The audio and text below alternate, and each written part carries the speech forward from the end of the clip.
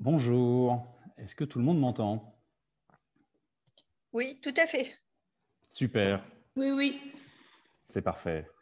Eh bien, je m'appelle Morio Cédric. Je fais partie du centre, euh, anciennement le centre multimédia, maintenant le centre numérique euh, à Dijon. Donc, je fais partie des PEP 21, dispositif Dell. Et je vais, euh, on va passer deux heures ensemble pour vous parler d'identité numérique. Je vais vous donner quelques petites astuces pour justement un peu mieux gérer votre identité numérique et puis également vous sensibiliser sur l'intérêt qu'on peut avoir, euh, quoi qu'on peut porter sur notre identité numérique. C'est un atelier qu'on a déjà euh, proposé euh, plusieurs centaines de fois, surtout dans l'établissement scolaire par exemple, parce qu'il est assez important de, de former les jeunes, les ados, mais on propose également cet atelier-là pour un public adulte, parce que les adultes, bien évidemment, eux aussi, la preuve, sommes sur Internet. Alors, je vais partager mon écran parce que tout se passe en ligne. Voilà, vous êtes censé voir mon navigateur. Si vous avez des questions, n'hésitez pas à m'interrompre, euh, plutôt verbalement que via le chat. Hein. Je n'ai pas forcément l'œil euh, sur le chat. Et puis à ce compte-là, de façon très conviviale, j'essaierai de vous répondre euh, au mieux. Alors, la première chose que nous allons aborder, euh, ça va être l'adresse IP. Alors, pourquoi parler de l'adresse IP Alors déjà, je vais rappeler un petit peu ce que c'est l'adresse IP pour les personnes qui ne sont pas trop euh, euh, averties avec le numérique. L'adresse IP, donc IP pour Internet Protocol. Alors, c'est très très simple.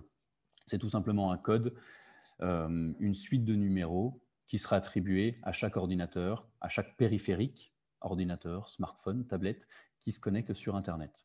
C'est un petit peu ce que j'explique souvent aux jeunes. Euh, je prends l'exemple de la plaque d'immatriculation sur une voiture. Si vous souhaitez rouler sur le réseau routier, il vous faudra une voiture immatriculée. Si vous souhaitez vous rendre sur le réseau Internet, il faudra un appareil, un device, un périphérique qui vous permet de vous connecter à Internet. Donc ça va être l'ordinateur, la tablette, le smartphone, la console de jeux vidéo, ainsi de suite, la montre connectée. Et effectivement une box qui vous permettra d'aller sur Internet et cette box, en fait, euh, hérite de l'adresse IP. Alors, ce qu'il faut savoir sur cette adresse IP, c'est qu'elle est forcément communiquée à tous les sites que vous allez fréquenter. Alors, ce que je vais faire, alors moi, je suis connecté euh, dans un bâtiment public. Aujourd'hui, je suis à la médiathèque Champollion à Dijon. Je suis connecté sur leur réseau.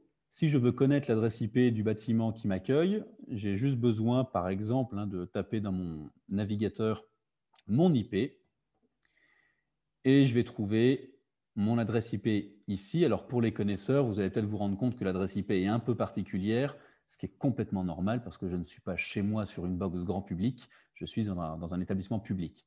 Donc ça, ce n'est pas très très important. Mais partons du principe que ceci est ma vraie adresse IP, autrement dit ma plaque d'immatriculation sur euh, les routes de l'Internet. Alors comme ça, ça ne nous intéresse pas spécialement. Par contre, juste ici, sur ce site, on a la possibilité de voir les informations détaillées. Alors, je me rends dessus. Et voici les informations qui sont liées, qui sont attachées à, ma, à mon adresse IP, autrement dit à ma plaque d'immatriculation. Alors, ce qu'on peut voir, comme Internet n'a grosso modo pas de frontières, on peut voir déjà que si je me rends sur un site Internet, le site Internet va connaître donc mon adresse IP et bien évidemment mon pays de connexion. Voilà, le pays de connexion est lié à l'adresse IP, l'information. Dans certains cas, ce n'est pas toujours le cas, après c'est vite technique et je ne vais pas rentrer là-dedans, dans certains cas, on peut également avoir la ville de connexion. Ensuite, on a ce qu'on appelle le FAI, le FAI, vous savez, c'est votre euh, fournisseur d'accès Internet, ce que vous allez appeler euh, votre opérateur. Donc on va connaître également votre opérateur. Alors, je fais juste une petite pause à ce niveau-là. Mettez-vous à la place d'une personne mal intentionnée qui essaye de récupérer le plus d'informations sur vous dans un but qui n'est rarement, qui est jamais, euh, qui est rarement positif, hein, qui est souvent dans un but assez méchant, attaque informatique, piratage, ainsi de suite eh bien, connaître votre opérateur, ça peut être intéressant. Rappelez-vous, euh, si vous êtes par exemple chez Orange, au PIF, hein, Orange, SFR, qui vous voulez, Bouygues, quand vous êtes chez Orange, votre fournisseur, votre opérateur, vous attribue une adresse mail.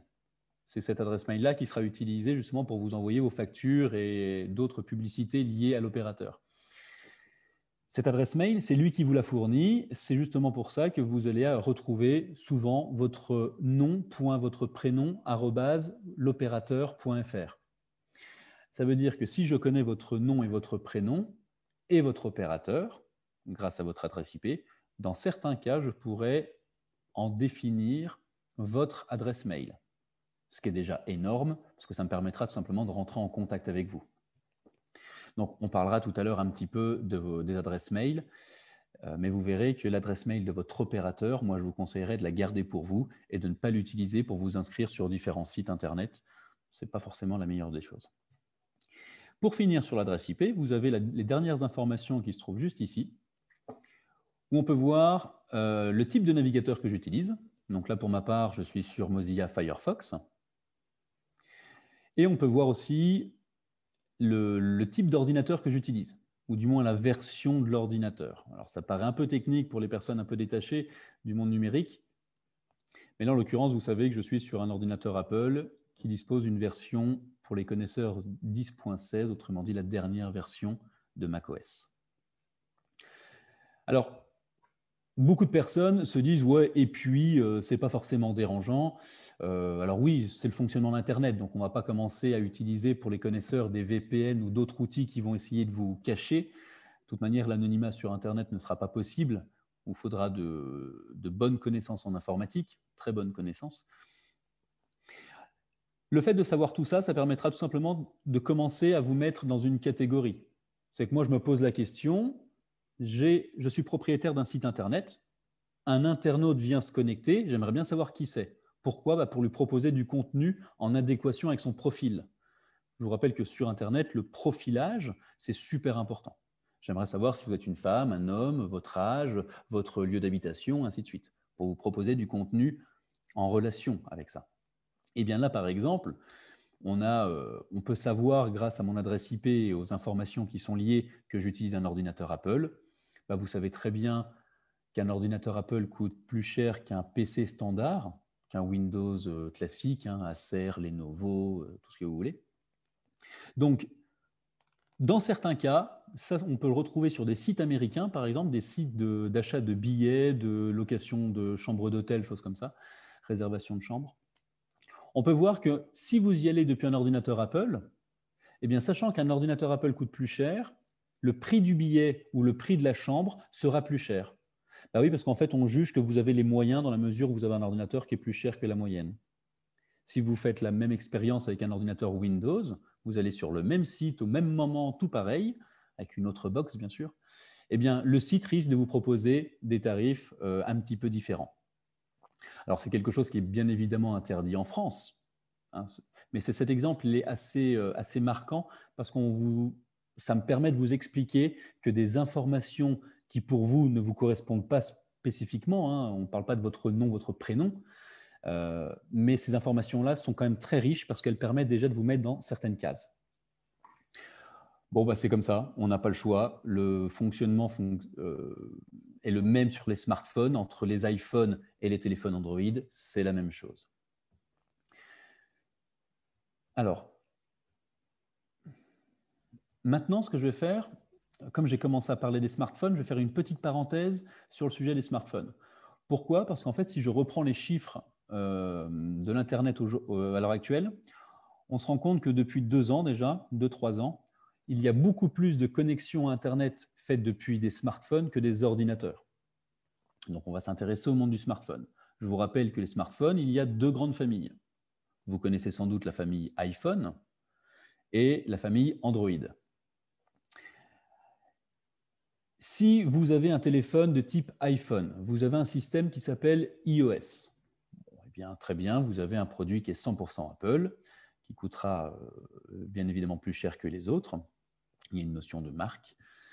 Et si vous avez un téléphone Android, eh bien bizarrement, vous pouvez avoir plusieurs marques de téléphone qui utilisent le même système, c'est-à-dire Android.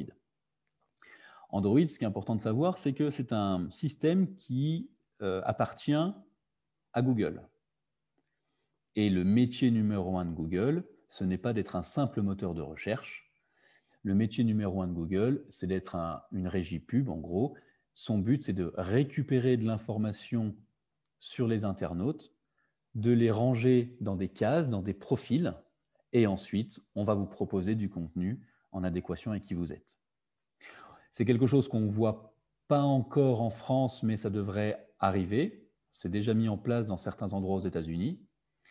Si deux personnes, monsieur A et monsieur B, font la même recherche sur Google, on se rend compte que les résultats proposés ne sont pas les mêmes. Bah oui, parce que Google connaît votre profil, donc il vous propose des liens qui sont euh, en, lien avec votre profil. C'est un petit peu injuste hein, parce que euh, prenez le même principe dans une bibliothèque. Dans une bibliothèque, les livres sont rangés au même endroit pour tout le monde. Et bien sur Internet, euh, le savoir qui est sur Internet, eh bien aujourd'hui, il n'est pas forcément attribué de la même façon en fonction du profil. Alors ce que je vais faire, hop, je vais m'intéresser à Google parce que imaginons que j'ai un téléphone de marque euh, Android, quoi d'une marque euh, X avec un système Android, donc Samsung, Oppo, Xiaomi, toutes les marques que vous connaissez, sauf Apple. Eh bien, la première fois que vous avez euh, hérité de votre téléphone, vous l'avez mis en route, on vous a demandé de vous connecter en Wi-Fi, et ensuite on vous a dit quelle est ton adresse mail? Quelle est ton adresse Gmail? Gmail Google. Vous avez donc créé un compte Google ou sinon vous avez inséré le vôtre dans le téléphone. Alors moi, ce que je vais faire, je vais tout simplement me connecter sur mon Google, sur mon compte Google. Donc je vais taper, donc c'est une adresse mail de test, hein, mais partons du principe que c'est ma vraie adresse mail. Ok, je tape mon mot de passe me voici connecté sur mon compte Google, comme, euh, comme tout le monde hein, qui dispose d'un compte Google, hein, aussi simple que ça. Donc bonjour, je m'appelle compte test, pas très joli, on s'en moque. La chose qu'il faudrait faire, ça sera assez intéressant si vous êtes propriétaire d'un compte Google, c'est de vous rendre dans données personnalisation, juste ici. Ça serait bien de le faire au moins une, fois, pour vous rendre compte de ce qui se passe juste ici. Les informations qui sont là ont déjà été modifiées pour ma part. Hein normalement, par défaut, si vous n'êtes jamais rendu ici, bah, vous verrez que tout est activé, tout est coché. Ce qui signifie, pour faire simple, que l'activité sur le web et les applications, autrement dit votre historique Internet et l'historique des applications que vous avez téléchargées sur votre smartphone, est enregistré dans votre compte Google. Donc Google sait que vous avez téléchargé une application d'enfants, de filles, de garçons, d'adultes, ainsi de suite, ainsi de suite. Ça, c'est très très riche. Ainsi que votre historique Internet entre, entre moi et mes grands-parents, par exemple, ou euh, entre moi et, des plus jeunes, on ne visite pas les mêmes sites. Donc, votre historique Internet en dit très, très long sur vous. C'est une information qui est activée, stockée par Google. Si vous refusez ça, si vous vous opposez en fait à cet enregistrement-là, vous pouvez le faire, hein. il faudra juste décocher. Ensuite, vous avez l'historique de position. Alors pour un respect de, ma vie privée, je ne vais pas cliquer ici, sinon je vais tout simplement tomber sur une carte. Vais vous en trouver une, sur Internet pour vous illustrer mes propos.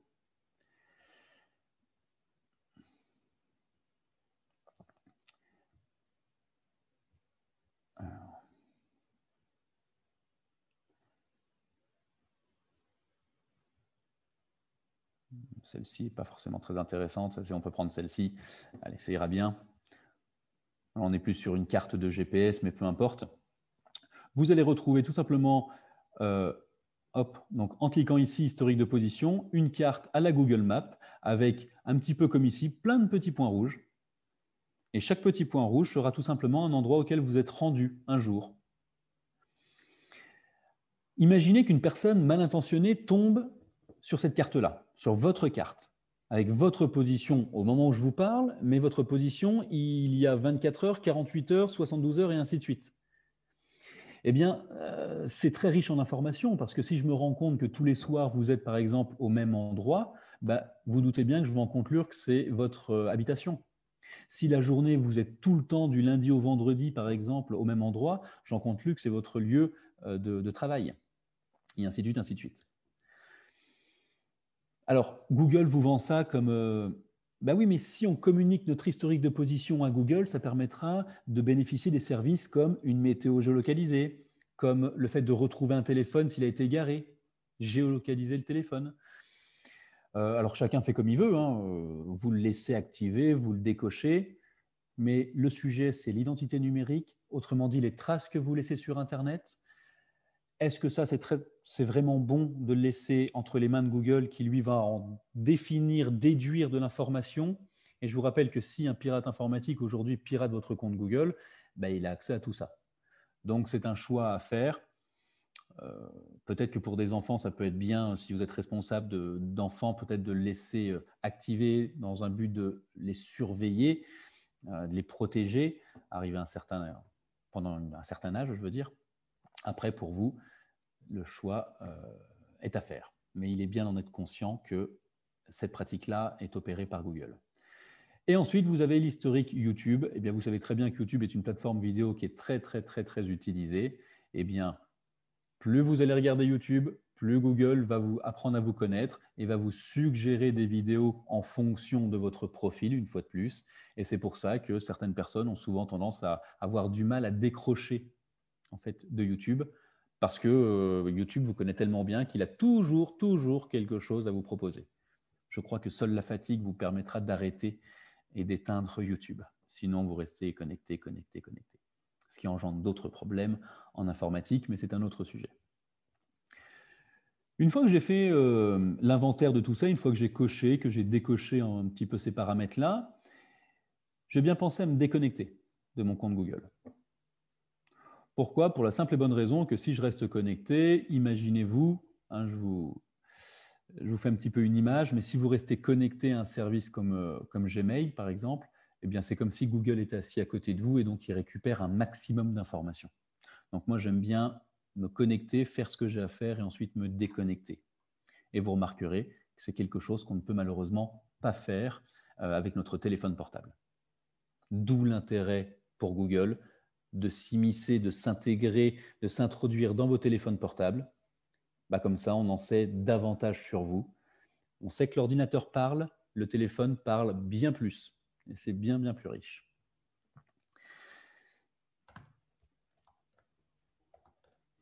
Alors maintenant, ce que je vais faire, je vais tout simplement, euh, donc je reste sur mon navigateur hein, qui est euh, Firefox, je vais tout simplement aller sur Internet et je vais aller euh, très brièvement visiter quelques sites pour imiter le comportement de monsieur et madame tout le monde qui le matin se lève et va allumer son ordinateur pour regarder les news. Donc je vais faire pareil, je me rends sur le site Le Monde, blablabla, je clique sur un article. Voilà, partons du principe que je l'ai lu, super. Je vais enchaîner sur un autre site. Je vais aller sur Le Bon Coin, par exemple.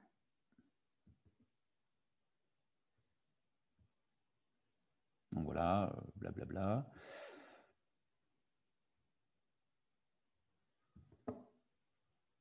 Voilà, je vais acheter un, lot de quatre classeurs. Voilà. Puis une fois que j'ai terminé, eh bien, je vais aller euh,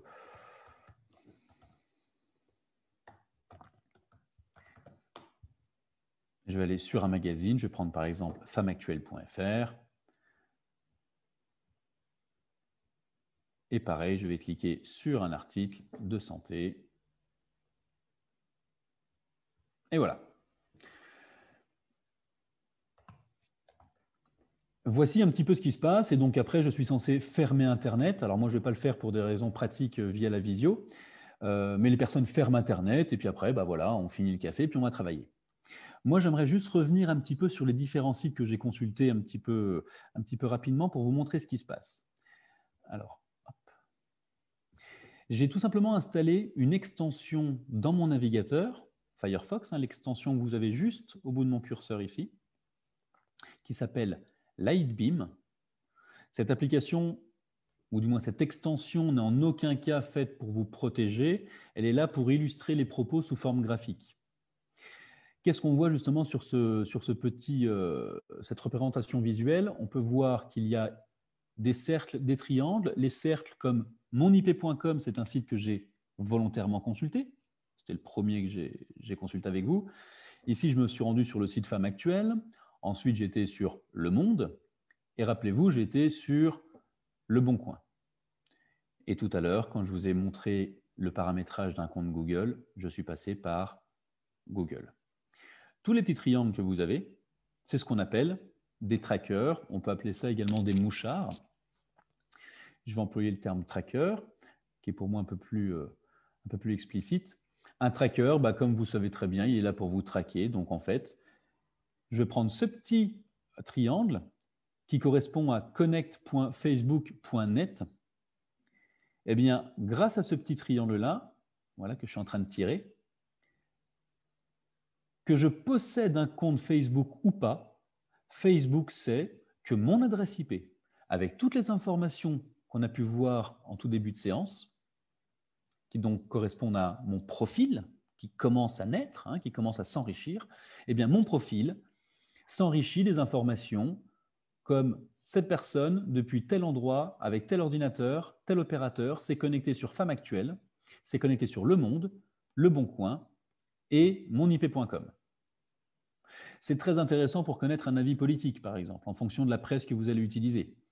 Ça peut être certaines fois euh, euh, comment dire, un avis religieux, ainsi de suite. On va tout simplement non pas enregistrer votre historique, parce que ça c'est un petit peu délicat, même si certains ne, s'en privent pas. On va tout simplement mettre sur la route, hein, la route entre votre ordinateur et le site. Hein, imaginez une, route. Eh bien, ici, on va mettre une sorte de radar, pour faire simple. Ces radars, ce sont ces petits trackers qui vont vous flasher, qui vont vous identifier quand vous allez passer, rejoindre un point à un autre, autrement dit, votre ordinateur vers le site. Et on va récupérer toutes ces informations. Et ce tracker, on va en placer dans plusieurs endroits sur plusieurs sites ce qui va permettre tout simplement de vous suivre à la trace. On a pu le voir, Facebook, il est lié à ces quatre sites. Eh bien, le jour où je vais créer un compte Facebook, moi, je vais m'émerveiller devant mon écran en me disant Génial, Facebook me connaît déjà. Il me propose des personnes que je connais. Il me propose des centres d'intérêt qui, collent à, mon, ma personnalité. Génial. Bah, génial, je ne sais pas. Parce que s'il peut se permettre ça, c'est tout simplement qu'il m'a traqué pendant un certain temps. Et ça peut durer, ça peut durer plusieurs mois, voire des fois plusieurs années. Pour lutter contre ça, c'est un petit peu compliqué. C'est un petit peu compliqué. Euh, il y a quelques petites solutions. Euh, le but, c'est vraiment de trouver des solutions simples pour tout le monde, parce qu'on pourrait rentrer dans les choses très techniques, mais euh, Internet doit rester le plus simple possible. Il hein. ne faut pas que ça devienne un casse-tête. Moi, ce que je vous conseillerais pour essayer de, de passer entre les mailles du filet, c'est déjà de prendre de bons réflexes et de se dire choisir un navigateur digne de ce nom, un navigateur qui est propre. Pour ma part, je vous ai mis sur Firefox, qui est pour moi l'un des meilleurs navigateurs. Alors, beaucoup vont me dire, bah non, Chrome fonctionne bien mieux. Vous savez qui se cache derrière, derrière Chrome, hein, Google Chrome. Donc, connaissant maintenant les agissements de Google, est-ce qu'il est vraiment bon d'utiliser un outil Google? Je vous laisserai euh, vous faire votre propre avis. Moi, pour ma part, je prendre Firefox. Et puis, si vous n'aimez pas forcément Firefox, vous avez des équivalents comme Brave.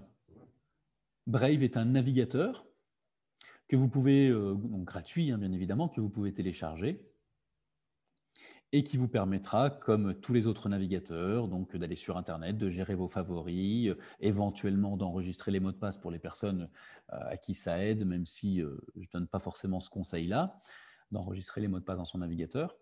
Donc voilà, il a tout d'un grand, sauf que ce navigateur-là, il va protéger votre vie privée. Et quand on dit quand on parle de protection de vie privée, bah, c'est tout simplement essayer de faire en sorte que tous ces trackers, tous ces petits triangles qu'on a pu voir, bah, évitent de vous euh, flasher, de récupérer l'information quand vous passez devant eux. Vous savez très bien, quand vous achetez un ordinateur euh, de type, euh, de type Windows, de type PC, vous avez directement un navigateur qui est intégré qui s'appelle Edge, ce fameux E bleu.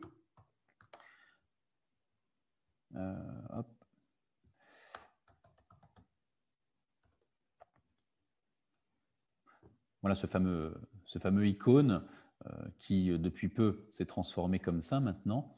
Bah, ça, c'est un navigateur Madin Microsoft, donc de chez Microsoft. une personne qui l'utilise, euh, bah, il n'y a aucun problème. Mais si vous l'utilisez, vous savez très bien que c'est Microsoft qui est derrière.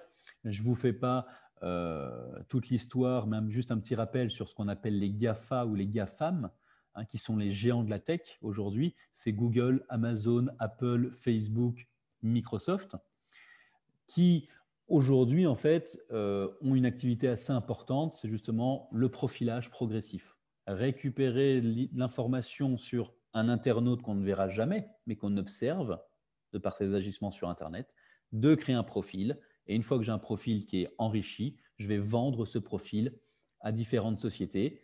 Et ces sociétés vont vous proposer des produits qui correspondent à votre profil. C'est ce qu'on appelle la publicité standard et la publicité ciblée. Eh bien, la publicité, ciblée pardon, fonctionne environ, euh, euh, au bas mot, trois fois mieux qu'une publicité euh, au pif. Donc forcément, c'est bien plus intéressant de créer des profils et de les vendre. Un profil d'une personne avec une adresse mail valide, un pouvoir d'achat, un sexe et quelques hobbies peut se vendre euh, entre 50 centimes et 1 euro.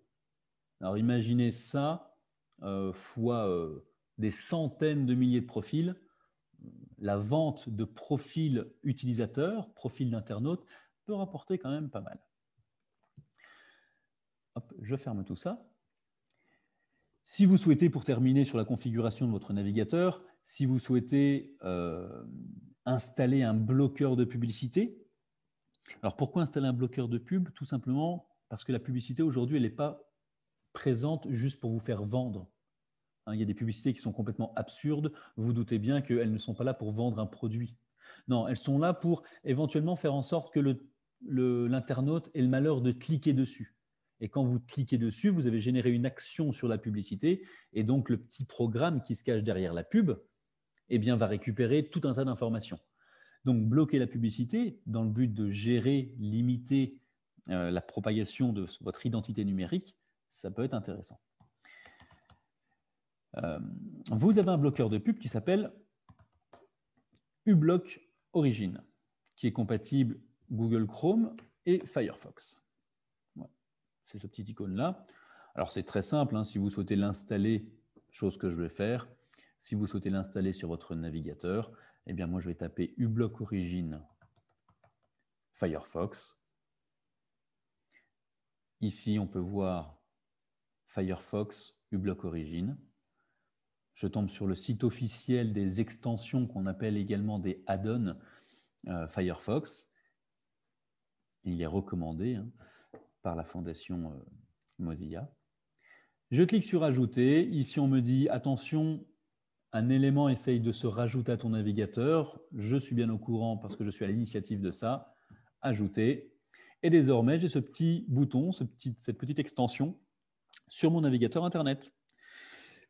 Si maintenant je me rends sur un site Internet, la publicité sera bloquée. Et si je souhaite arrêter ce blocage de publicité dans le but de profiter en fait au financement du site, hein, parce que je vous rappelle que la publicité c'est bien, euh, c'est bien d'être contre, hein, parce qu'il y a vraiment sur certains sites une exagération sur le contenu publicitaire et il y a dans certains cas des problèmes de sécurité, mais la publicité permet de faire, de faire vivre certains sites internet. Donc quand vous êtes sur des petits sites internet qui n'appartiennent pas à des géants, euh, ça serait intéressant aussi de jouer un peu le jeu et de débloquer, désactiver son bloqueur. Pour ça, c'est très simple. Vous cliquez dessus et vous avez un bouton on-off ici. En gris, il est bloqué, donc il est inactif. Et là, vous venez de le réactiver, tout simplement. Et à chaque fois que vous allez le désactiver, il va mémoriser le site où il a été désactivé. Comme ça, la prochaine fois où vous allez vous reconnecter sur ce même site, c'est lui-même qui va automatiquement se désactiver. Donc, ce n'est pas quelque chose de casse-tête qui va, qui va être activé, désactivé en permanence. Vraiment pas. Vraiment pas. Et puis, comme je vous l'ai dit tout à l'heure, les smartphones aujourd'hui sont dominants sur la toile Internet, sur le web. C'est pour ça qu'avec votre smartphone, il serait aussi intéressant de choisir un navigateur digne de ce nom. Alors, vous avez Brave, celui que je vous ai présenté précédemment, qui est compatible sur smartphone, bien évidemment, mais vous avez Firefox Focus, qui lui ne fonctionnera pas sur ordi, on est bien d'accord, mais exclusivement sur tablette et smartphone.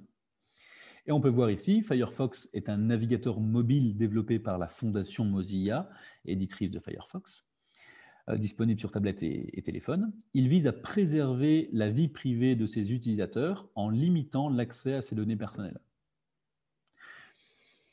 Vous l'avez compris, quand vous utilisez par exemple euh, Google Chrome sur votre Android, donc Android Google, Google Chrome Google, bah, c'est parfait.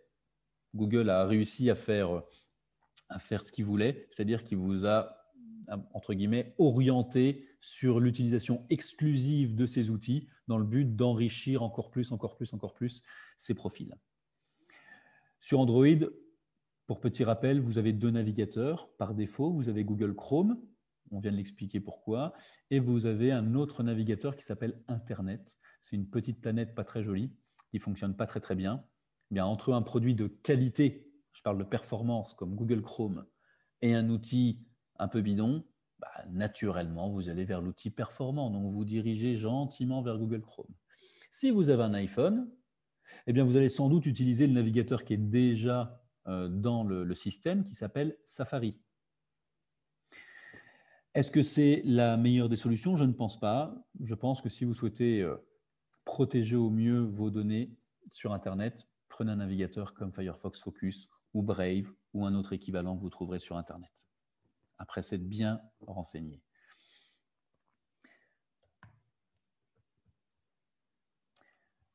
Hop, un petit instant.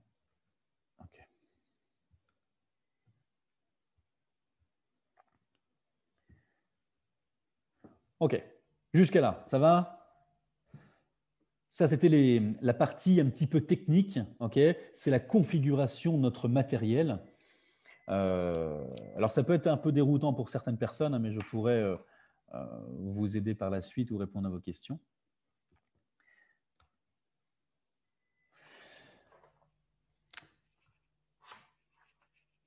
Alors maintenant, ce qu'on va faire, je vais, euh, on va aller un petit peu plus loin dans ces, données et on va parler des mails. Pourquoi le mail? Ben, En fait, le mail, c'est super, super intéressant. Pour la simple et bonne raison que le mail permet de rentrer en contact avec vous. Alors, en contact, ça peut être euh, vous proposer de la publicité, ce qui, va, vous faire râler et vous allez dire bah oui, mais je reçois plein de publicités dans ma boîte mail, hein, c'est contraignant, même de la publicité de sites auquel je me suis jamais rendu, bah, bien sûr, en fait, euh, votre adresse mail a été vendue à différentes sociétés. Ou sinon, votre adresse mail va pouvoir être utilisée dans le but de piratage informatique. Alors, ce que, vous allez, ce que je vais faire, mais vous pouvez éventuellement le faire, c'est vous rendre sur un site qui s'appelle Have I Been Pwned C'est ce site-là. Alors, hop. Voilà. Cette phrase-là veut dire en gros, est-ce que je me suis fait avoir? En gros, c'est ça.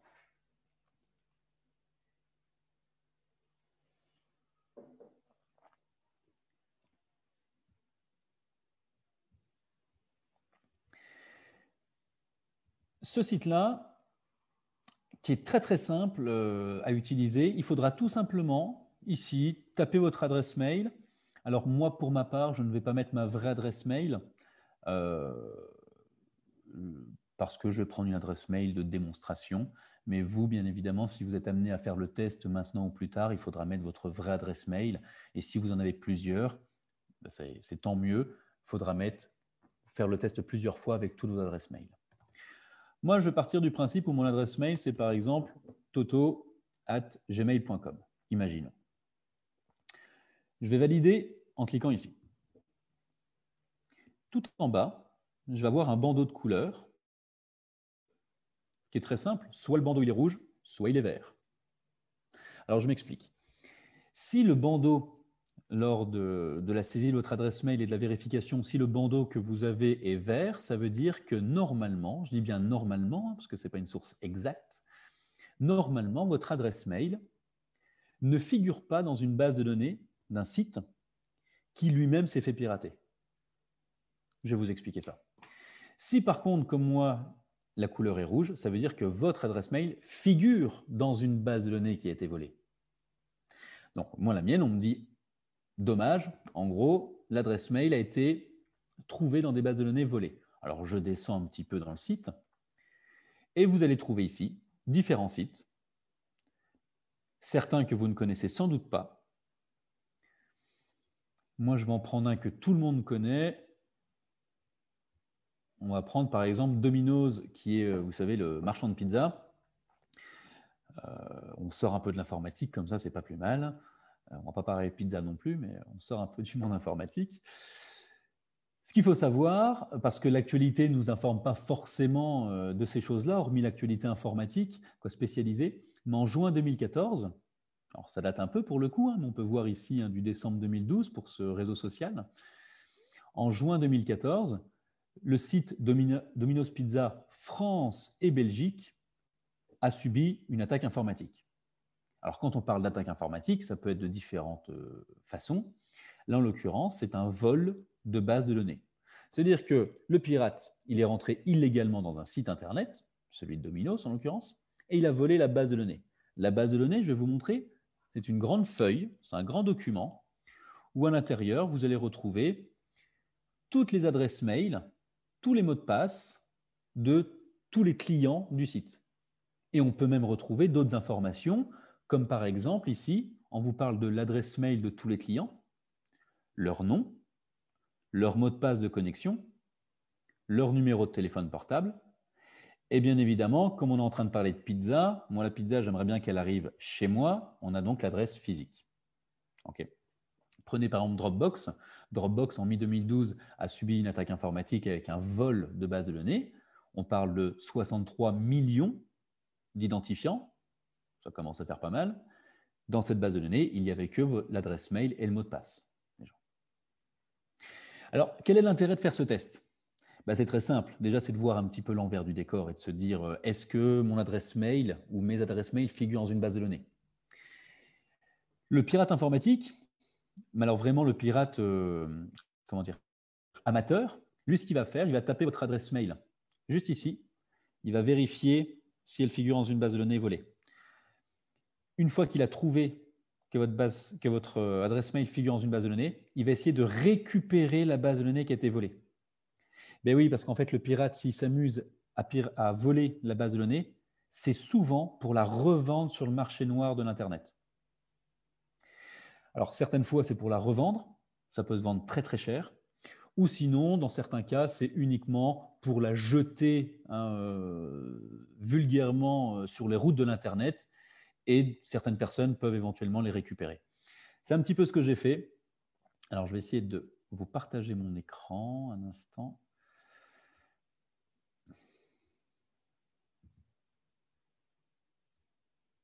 OK.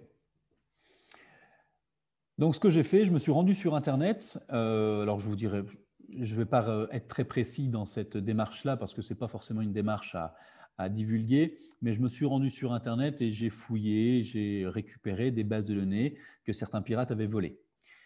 C'est pour ça que je cache euh, une partie des adresses mail parce que ce sont des vraies personnes. Ça se trouve, vous figurez peut-être à l'intérieur, qui sait. Ici, vous avez donc un document texte c'est une toute petite base de données. Hein.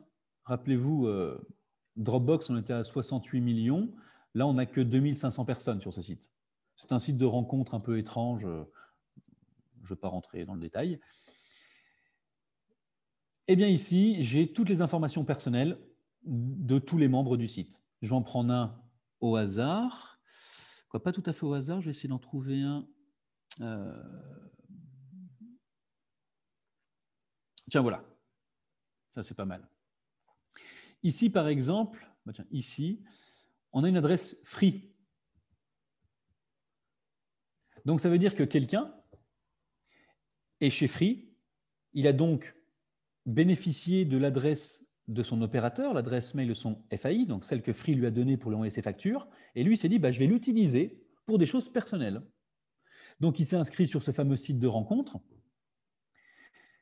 Ici, on a son pseudo, a priori Martine.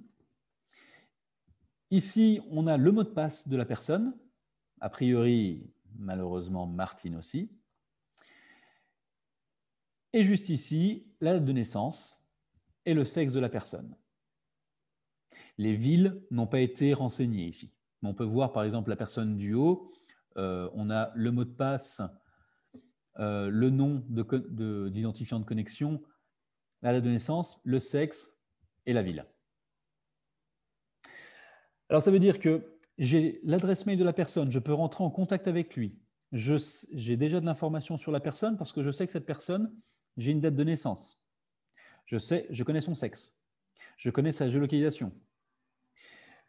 J'ai suffisamment d'informations pour pouvoir rentrer en contact avec cette personne-là et commencer à lui proposer euh, une technique de manipulation, de lui faire croire, de mettre en place un scénario et de lui faire croire que j'ai un peu plus d'informations sur lui, ainsi de suite, ainsi de suite, ainsi de suite. Je pourrais également me faire passer pour cette personne-là. Cette personne, si je me rends compte en faisant une simple recherche sur Facebook, euh, grâce à son adresse mail ou grâce aux informations que j'ai réussi à trouver, si je trouve son profil et je vois que ce monsieur-là a une femme, bah, j'ai plus qu'à faire du chantage. Je lui envoie un mail et je dis voilà, je sais que tu as une femme, euh, je sais que tu as des enfants, mais je sais également que tu es inscrit sur un site de rencontre un peu particulier. Donc, soit tu achètes mon silence, soit bah, je divulgue toi ta femme. Là, on rentre dans de la manipulation qu'on peut faire à partir d'informations. Alors, une petite question dans le chat.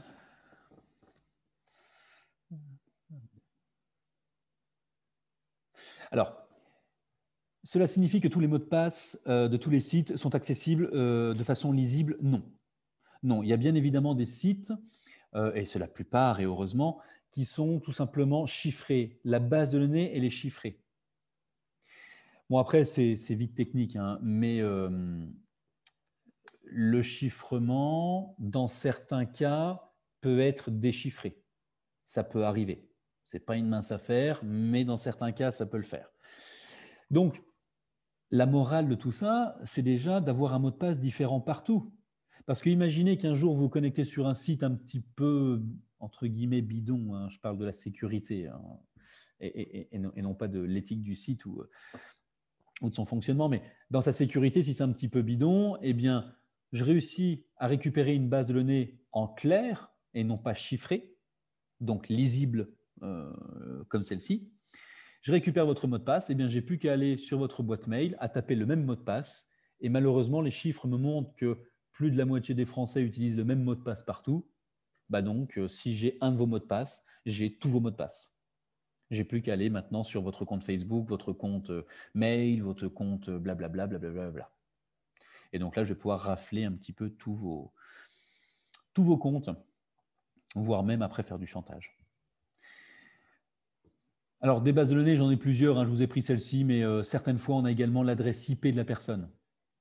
Et rappelez-vous, l'adresse IP, on l'a dit en début de séance, correspond à votre position géographique de façon plus ou moins précise. Hein, ça peut être votre ville, voire votre quartier.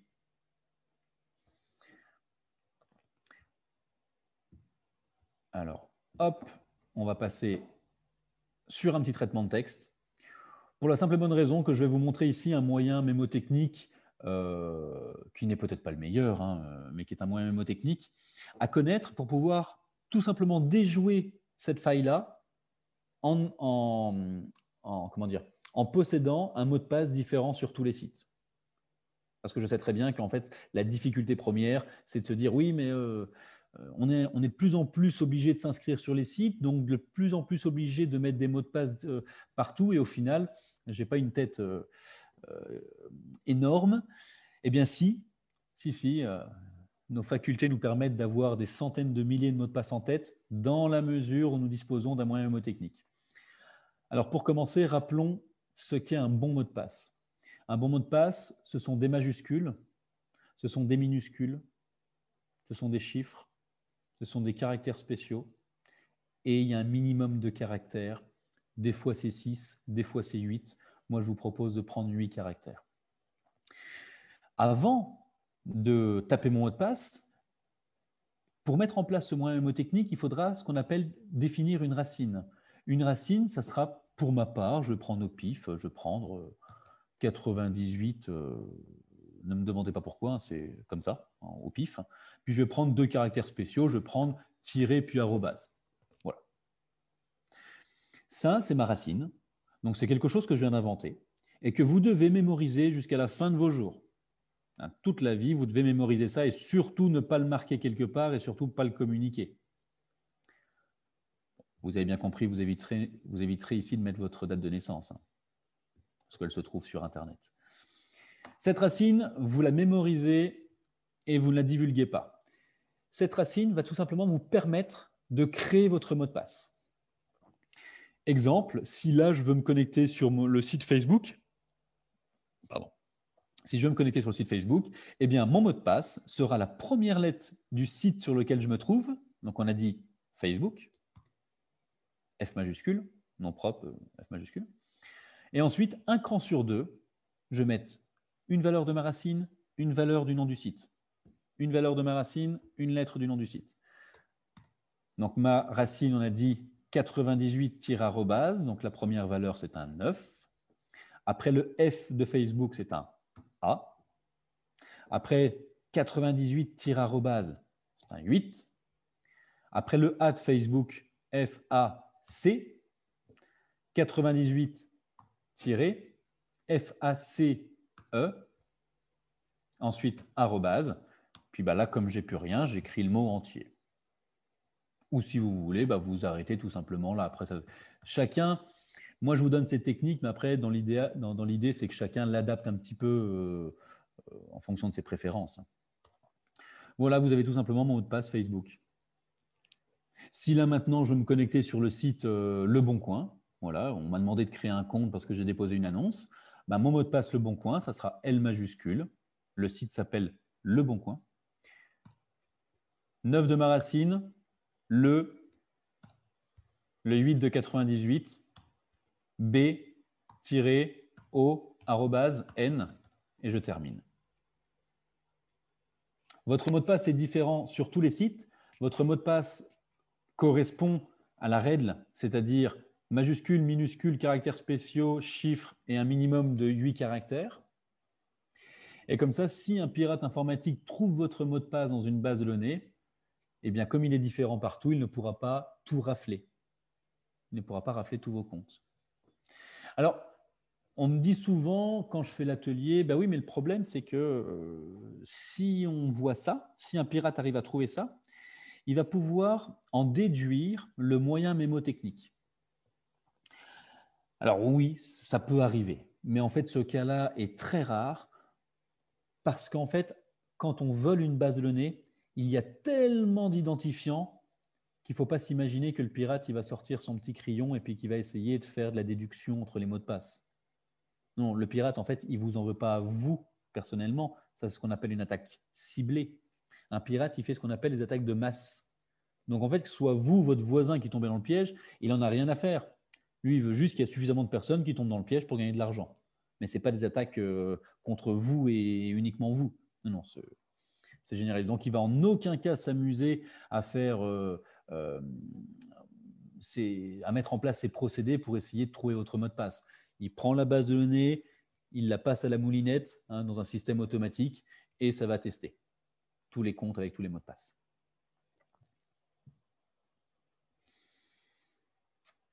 Hop, alors, un petit instant.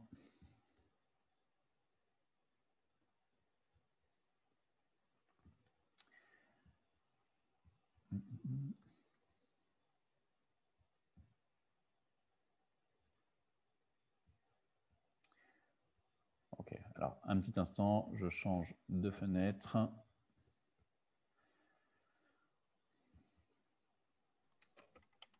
C'est pas toujours facile en visio avec 50 fenêtres. non, c'est ça je Je suis fatiguée. Alors, hop, ils sont Ils sont là. Ok, c'est tout bon. Qu'est-ce qu'il raconte? Parle pas. Ok, vous êtes censé voir une photo. Photo. Ok. Cette photo-là, elle est importante parce qu'elle va tout simplement me permettent de vous illustrer euh, ce qu'est les métadonnées en informatique. Les, les métadonnées, ce sont toutes les informations qui sont liées à un fichier. Dans, dans l'époque dans laquelle nous vivons, vous savez très bien qu'on échange énormément de photos, on échange énormément de vidéos. Eh bien, sachez tout simplement que quand vous envoyez une photo ou une vidéo, il y a des métadonnées qui sont liées à ce fichier. Par exemple, cette photo, n'essayez pas de deviner où c'est, vous n'allez sans doute pas trouver. Par contre, si vous retournez la photo, autrement dit, si vous faites un clic droit propriété, vous allez pouvoir accéder aux métadonnées et avoir toutes les informations. Exemple, alors je ne sais pas. Alors je ne sais pas, attendez un instant, je ne sais pas si vous voyez la petite fenêtre qui vient d'apparaître.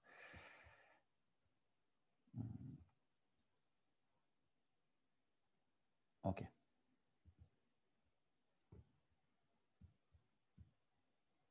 Ah, vous voyez tous cette petite fenêtre qui s'appelle en, savoir plus? Vous la voyez? Oui, on la voit. Oui, super, merci. Eh bien, cette fenêtre, en fait, c'est l'équivalent de quand vous avez un fichier, n'importe lequel, que ce soit un fichier texte, un fichier, une photo, une vidéo, ce que vous voulez. Il suffira tout simplement de faire un clic droit sur la photo et tout en bas, vous allez dans Propriété.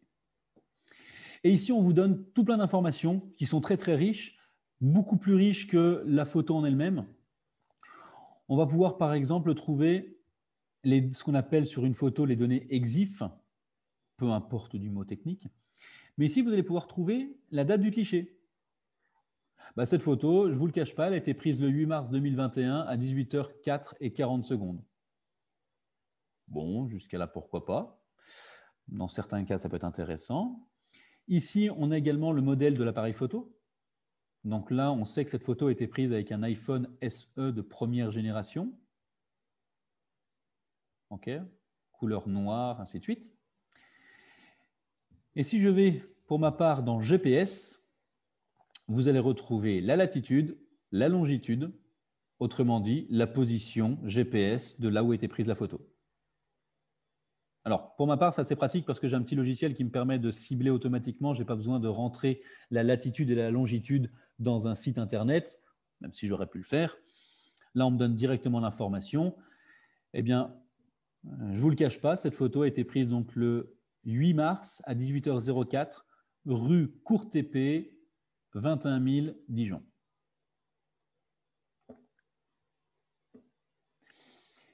Ces informations-là sont liées au cliché. Quand vous les envoyez, la plupart sur les réseaux, par SMS, par MMS, la plupart du temps, l'outil que vous utilisez pour envoyer va récupérer ces données, mais va ensuite les effacer de votre cliché pour faire parvenir la photo à votre interlocuteur, dans certains cas. Donc, quand vous postez votre vidéo sur Facebook ou votre photo sur Facebook, vous ne pourrez pas récupérer la photo puis faire un clic droit et savoir où elle a été prise. Non, parce que Facebook a pris le soin d'effacer tout ça.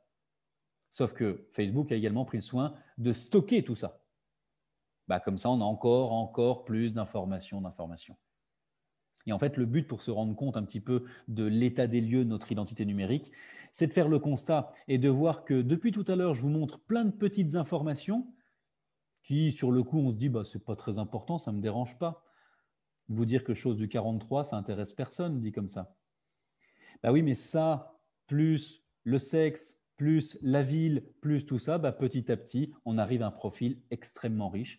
Et je peux vous garantir que ce qu'on appelle les GAFA, les GAFAM, avec les commandes Amazon que vous faites, votre profil Facebook, les téléphones que vous avez, les ordinateurs que vous avez, ainsi de suite, la télé que vous regardez chez vous, euh, on vous connaît même des fois un peu mieux que vos parents, par exemple, ou de votre famille. C'est pour ça qu'il faut faire très attention à ces données personnelles. Euh, alors, un instant, hop, voilà. Je vais revenir un tout petit coup sur Internet pour vous montrer un autre outil cette fois-ci, qui lui est assez pratique. Je vais revenir un petit peu sur les adresses mail. Euh, déjà, juste pour vous faire remarquer un truc tout bête, quand on vous demande votre numéro de téléphone, vous avez souvent du mal à le donner. À croire qu'on a été éduqué à ne pas donner son numéro de téléphone à n'importe qui. Par contre, votre adresse mail, on a souvent tendance à la donner à n'importe qui. Un, site ou euh, un site internet qui vous fait bénéficier, qui, essaye de vous faire gagner un, je sais pas moi, un appareil à athlète, on vous demande votre adresse mail, vous la donnez. Ça aurait été la même chose avec le numéro de téléphone, on ne l'aurait pas donné parce que nos parents nous ont toujours dit le numéro de téléphone, tu ne le donnes pas à n'importe qui. Mais l'adresse mail, comme ça, Internet, on s'en moque un petit peu. Euh, sachez que l'adresse mail ou le numéro de téléphone ont la même valeur, voire même plus. Pour moi, euh, l'adresse mail est bien plus riche que le numéro de téléphone. Donc, votre adresse mail, il est important d'en avoir plusieurs. On l'a dit, l'adresse mail de votre opérateur, de votre FAI, celle-ci déjà, moi, je vous conseillerais depuis le début de la garder uniquement pour vous. Je ne la communique pas. Si je suis chez Orange, j'ai une adresse mail Orange, il n'y a que Orange qui la connaît, ça me permettra de recevoir mes factures. Très bien. Ensuite, je vais me créer une autre adresse mail que je vais utiliser par exemple pour ce qui est un petit peu sérieux, par exemple l'administration, pourquoi pas le travail, ainsi de suite. C'est sûr que je ne vais pas recevoir de publicité parce que seules les personnes sérieuses vont connaître mon adresse mail. Je vais créer une troisième, euh, une autre adresse mail qui, elle, va me permettre tout simplement de jouer, de faire tous les trucs un petit peu, euh, pas forcément très importants. Je ne sais pas si demain vous avez euh, envie de regarder votre horoscope sur Internet, eh bien on vous demandera une adresse mail, donnez celle-ci. C'est ce qu'on appelle un peu l'adresse mail dite poubelle. Celle-ci, vous la donnez, au bout d'un mois, elle sera remplie de spam, remplie de publicité mais on n'en a rien à faire, c'est une adresse mail qui a été créée pour ça. Ce qu'on peut faire également, c'est utiliser les services de mail temporaire. Alors, je vais vous en montrer un qui fonctionne très bien, qui s'appelle Momal. M-O-H-M-A-L. C'est ça, M-O-H-M-A-L. C'est un service qui est super et super simple.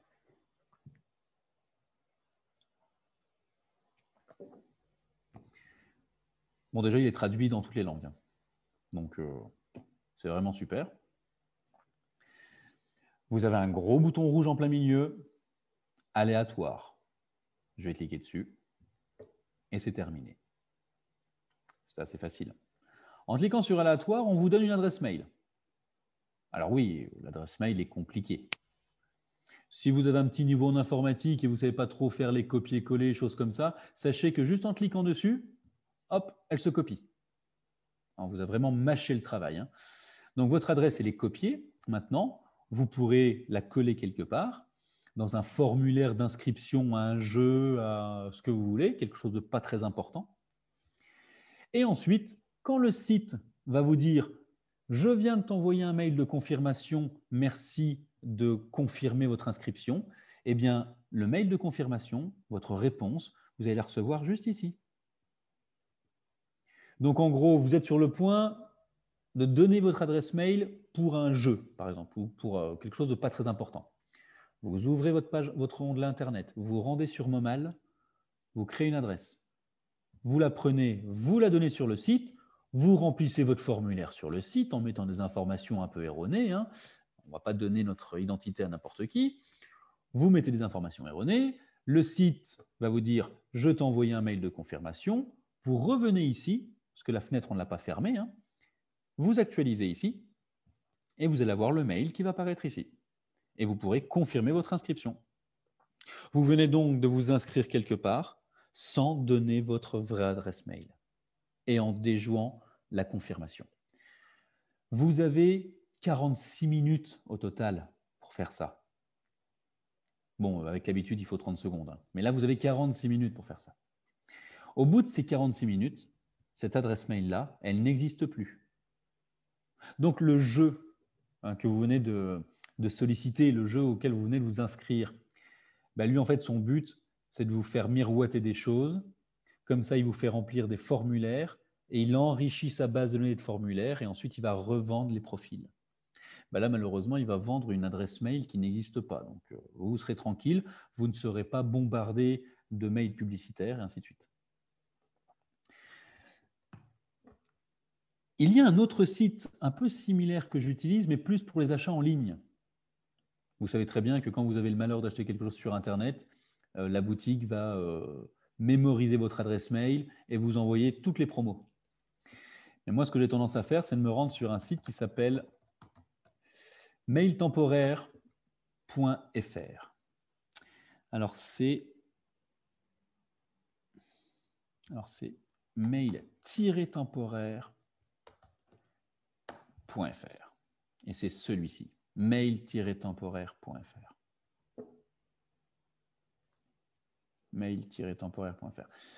Un petit clic dessus. Alors ce site, il est rempli de publicité. Et comme il fonctionne, en fait, s'il arrive à survivre ce site-là, c'est grâce à la pub. Donc rappelez-vous le bloqueur de publicité que j'ai installé tout à l'heure. Je vais bien faire en sorte de le désactiver. Parce que si demain ce site vient mourir parce qu'il n'a plus d'argent grâce à la pub, bah, je serai sans doute le plus malheureux.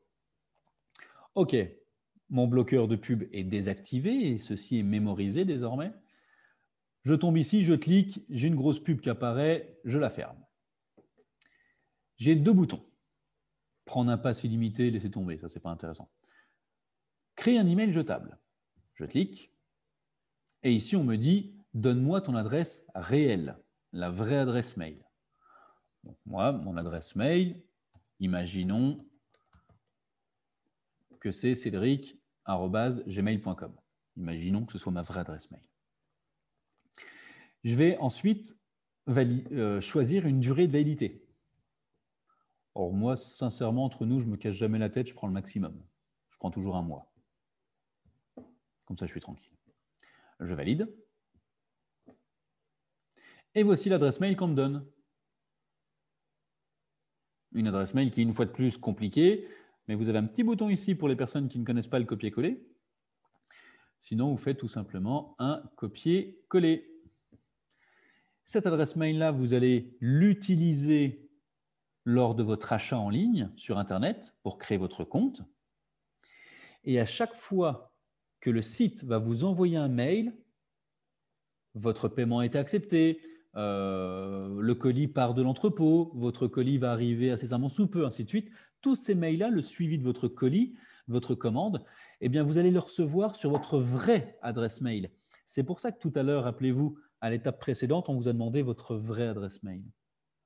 Si vous préférez cette adresse mail-là, c'est comme, comme le principe d'un pont.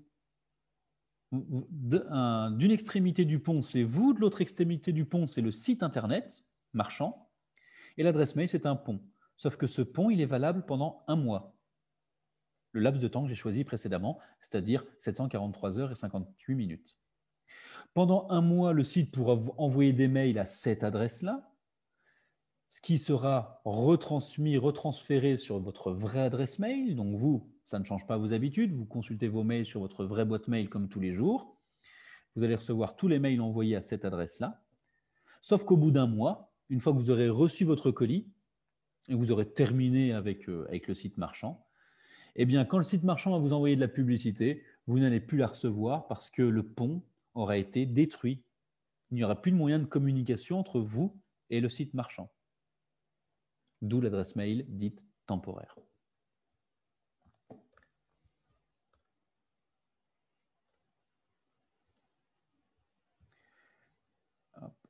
un petit instant.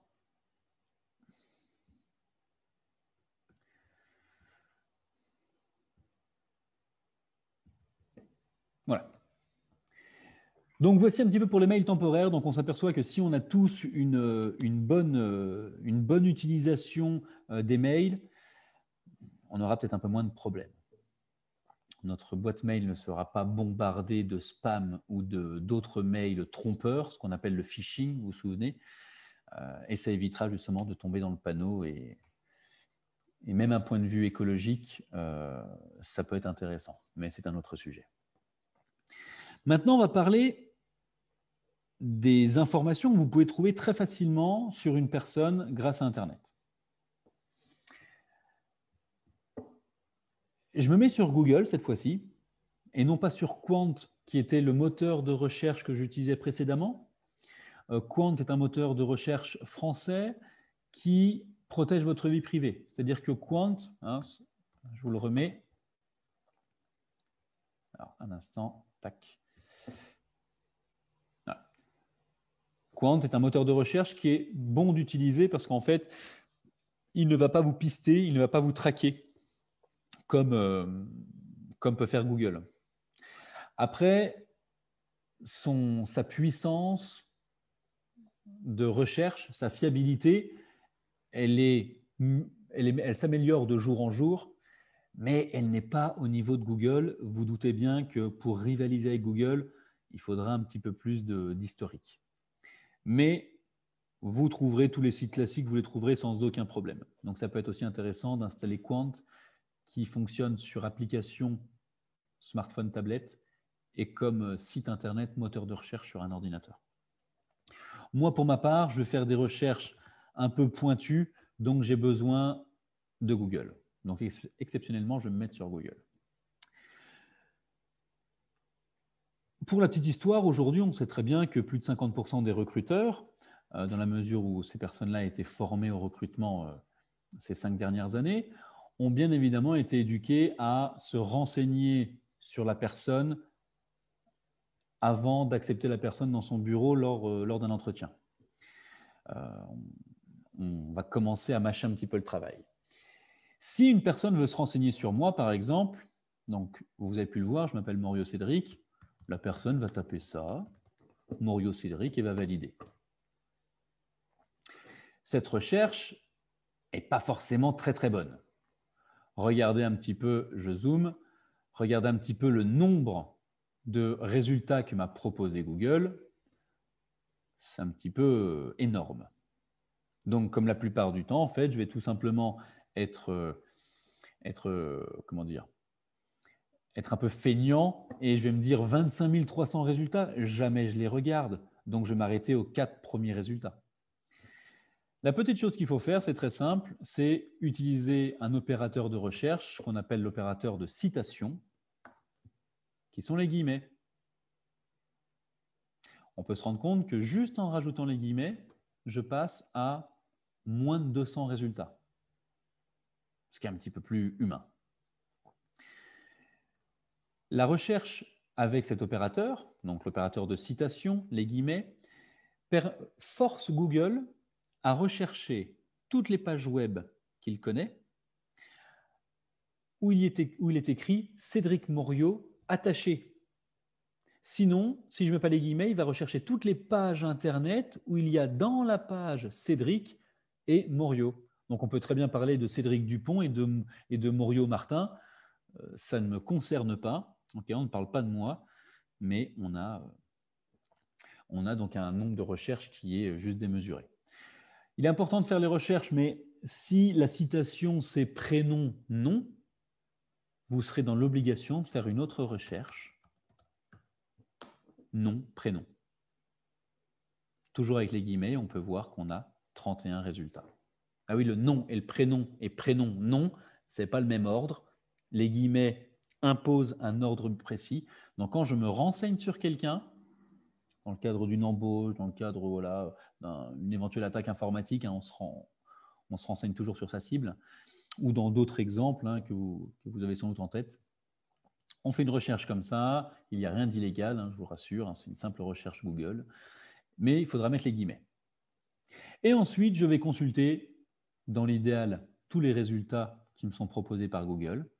Et petit à petit, vous allez trouver une présence sur des réseaux, des articles de journaux, euh, des bulletins scolaires, euh, l'obtention de certains diplômes, ainsi de suite, ainsi de suite, ainsi de suite. Je vais vous montrer un petit truc. Un instant, je récupère le document.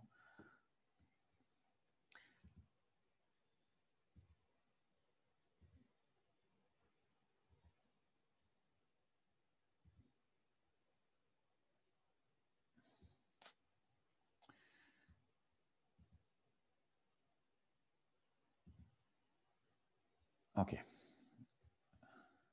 Je vais vous partager un écran, tout simplement parce que je n'ai pas envie de faire des recherches sur moi. Hein. voilà, on s'en moque un petit peu. Hein. Euh, hop. Donc, je vais vous montrer un travail que j'ai pu faire il y a quelques temps déjà.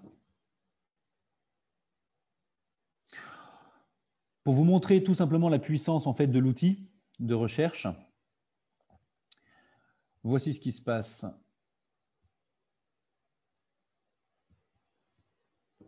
J'ai pris cette illustration-là parce qu'elle est assez intéressante. Hein. Vous avez pu voir, par exemple, dans les films, que quand on recherche des informations sur une personne, euh, toutes les informations récoltées sont épinglées sur un mur et on fait des liens avec des petites ficelles. C'est ce qu'on voit souvent dans les films.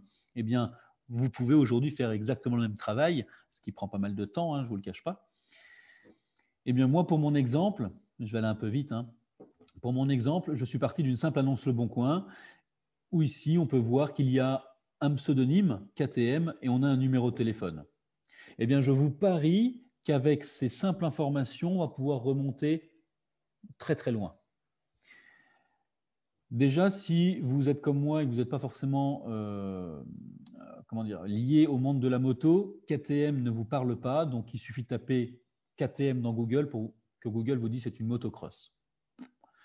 Ok, jusqu'à là, ça ne nous avance pas plus que ça, mais c'est important pour la suite.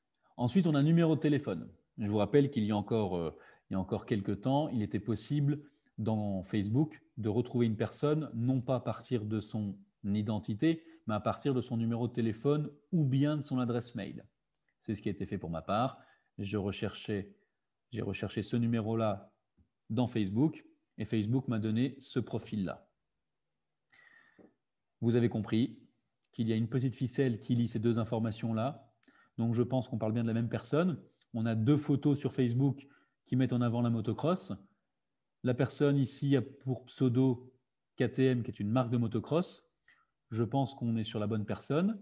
Et sur Facebook, cette personne a bien évidemment mis sa vraie identité. Autrement dit, un, certain monsieur euh, Fèvre-Quentin. Maintenant que j'ai un nom et un prénom, je vous l'ai montré en faisant des recherches sur Google via les guillemets, je vais tomber sur cette photo-là. Une photo n'est pas, euh, pas sans information annexe. Là, je ne, je ne vais pas parler des métadonnées comme je l'ai fait précédemment. Je vais tout simplement m'arrêter sur le tas de pixels qui composent cette photo et je vois qu'il y a un ballon de rugby sur ce, sur ce jeune homme. Normalement, s'il y a un ballon de rugby, c'est que cette personne-là a un lien avec le rugby.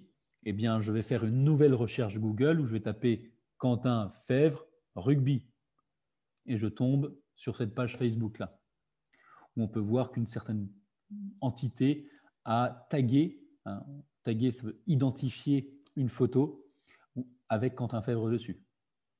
Et cette fameuse entité qui s'appelle le SMBRC a commenté quel neuf.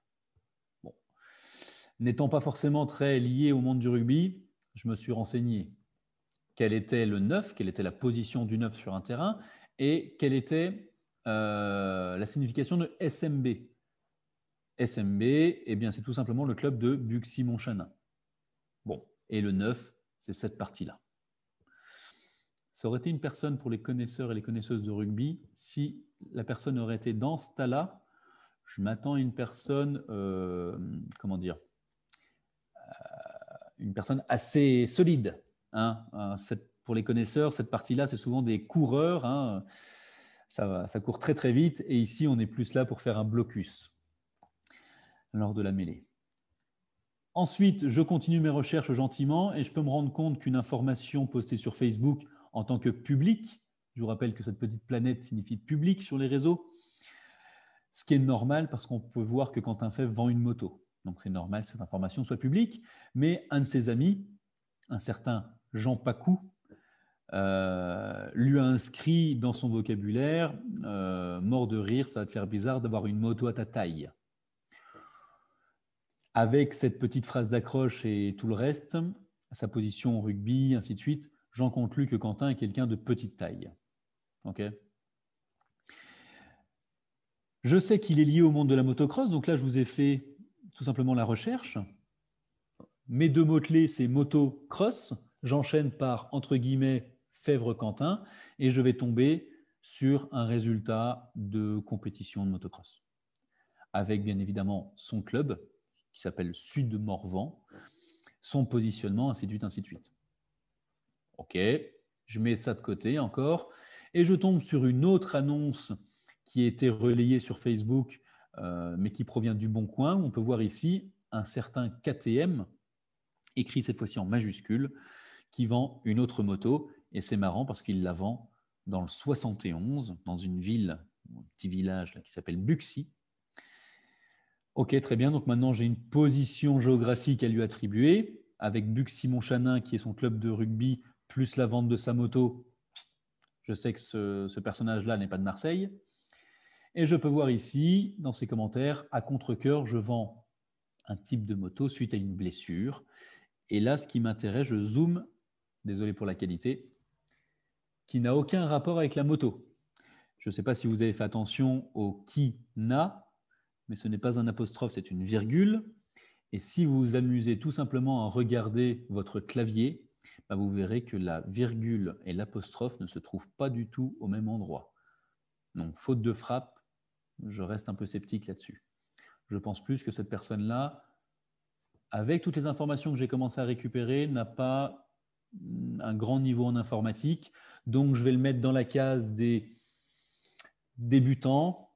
Donc, il y a de fortes chances que son mot de passe ait une connotation directe avec la moto et que son mot de passe est le même utilisé partout. Ok?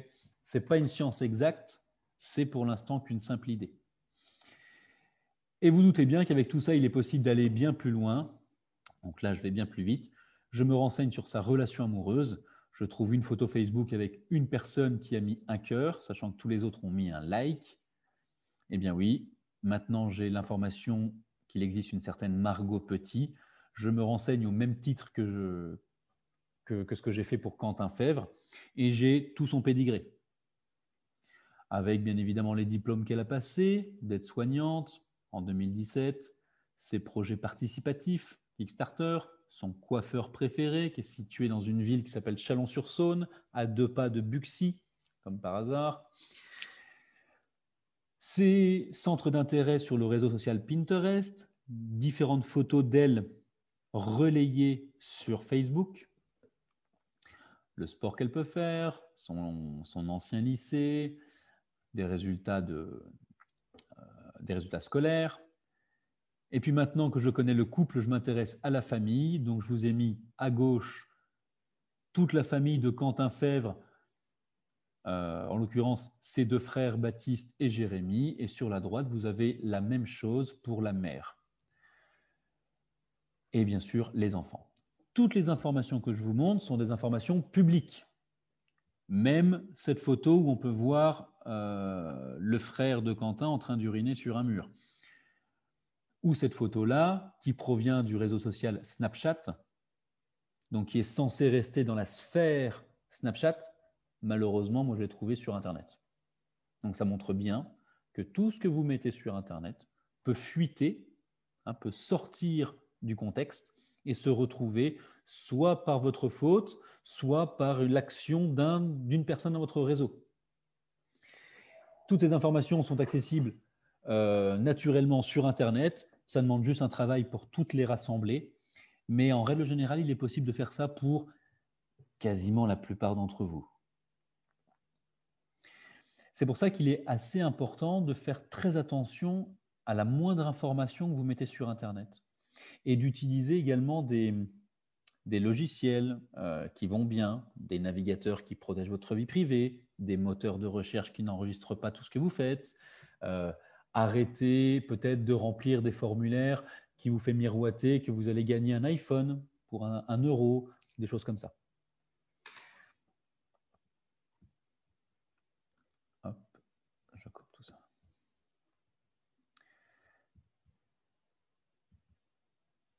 Hop, un petit instant.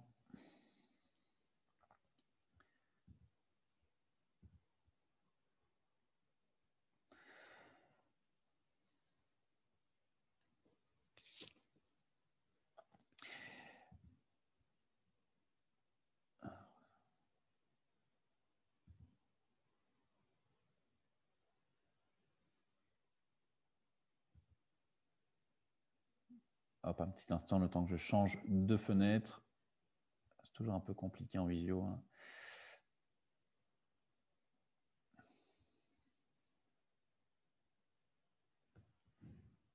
Ok. Jusqu'à là, pas de questions particulières, euh, tout va bien. Alors ça peut peut-être faire un peu peur quand on, quand on voit l'aboutissement de ce travail. Euh, mais sachez que c'est vraiment accessible euh, par tout le monde. Il suffit juste de connaître en fait comment fonctionne votre navigateur. Il suffit juste bah, voilà, de poser des questions comme il faut dans le langage de votre moteur de recherche. sauf qu'aujourd'hui, on s'intéresse à mes yeux, pas suffisamment à ces choses-là, et on utilise notre moteur de recherche bah, pour taper des simples mots-clés, et donc en fait on se bride, on se bride réellement de toute la richesse qu'on peut avoir. Euh, je vais en profiter pour vous montrer un autre opérateur qui peut être assez riche dans vos différentes recherches Internet. Alors je vous partage mon écran.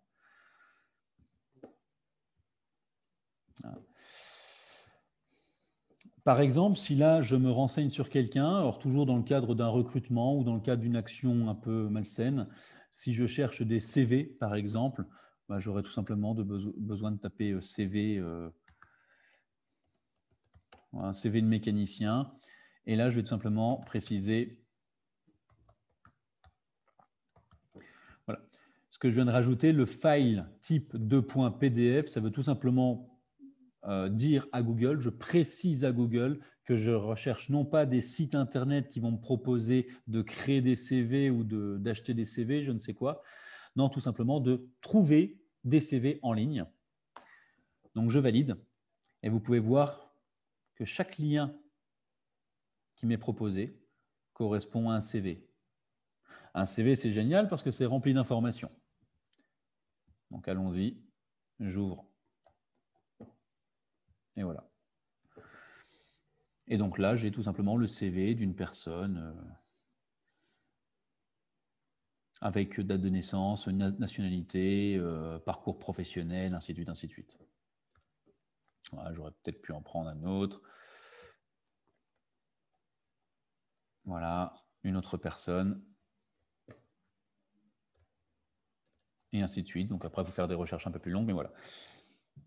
Ça, c'est ce qu'on appelle des opérateurs de recherche. Donc, si vous, si vous recherchez beaucoup sur Internet, il sera intéressant de, se pencher un petit peu sur le, sujet des opérateurs de recherche.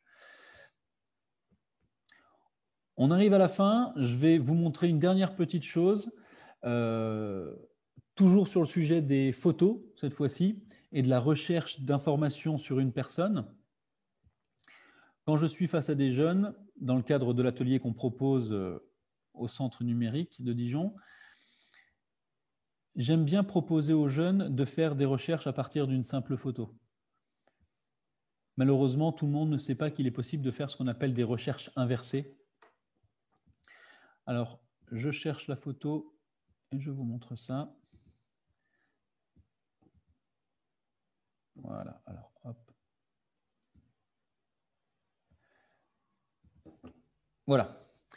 Je viens de vous partager la photo d'une personne. Cette personne, votre cerveau humain peut euh, seulement identifier que c'est une personne de sexe féminin. Mais malheureusement, vous ne pourrez pas avoir d'informations autres. Alors, je sais très bien que vous dites peut-être Ah, bah, il suffit de faire un clic droit propriété pour avoir d'autres informations.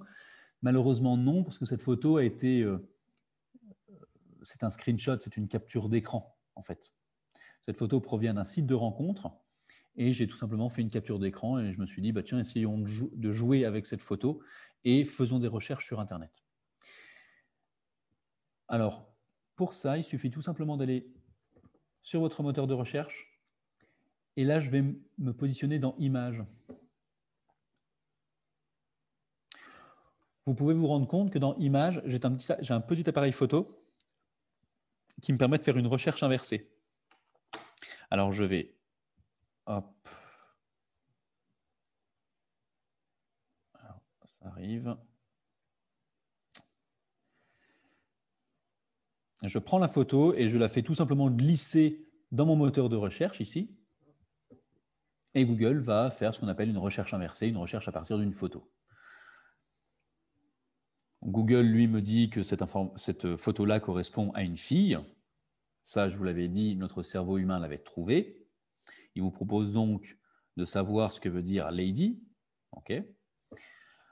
Ensuite, Google vous propose des images similaires. Donc, entre nous, il n'y a rien de similaire en fait. C'est tout simplement des photos qui ont la même colorimétrie environ.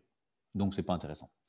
Par contre, si je descends un peu plus bas, on peut voir ici que Google me propose des pages Internet où on retrouve cette photo. Alors, je regarde, je peux voir que cette photo est accessible depuis le site SunCloud, encore SunCloud, SunCloud. OK. Et on peut voir ici que j'ai une identité, une certaine Delphine Dugros, Delphine Dugros et encore Delphine Dugros. Eh bien, si je veux me renseigner sur la personne, vous avez compris. Delphine Dugros, entre guillemets. Et là, je vais commencer à ouvrir tous les liens. Je vais également me rendre dans Google Photos, comme on a pu voir. Et je vais retrouver d'autres informations sur cette fameuse Delphine Dugros.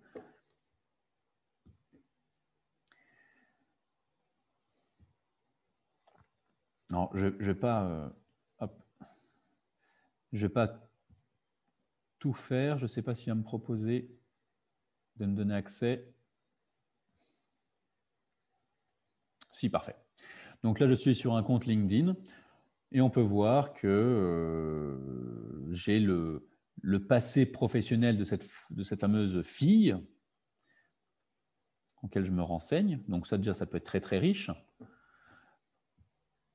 Ma recherche Google m'emmène sur une page France Bleu où je pourrais éventuellement rechercher des informations dessus. Là, je tombe sur ce qu'on appelle un WordPress, donc une sorte de, blog, si vous préférez, de présence sur le web, où j'ai d'autres informations. Et ainsi de suite, ainsi de suite. Alors, je ne vais pas tout vous faire, mais là, j'ai un compte Facebook, ça peut être sympa. Ainsi de suite, ainsi de suite, ainsi de suite.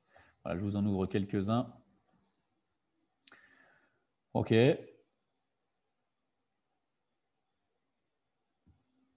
Je trouve un compte Facebook avec plein de photos.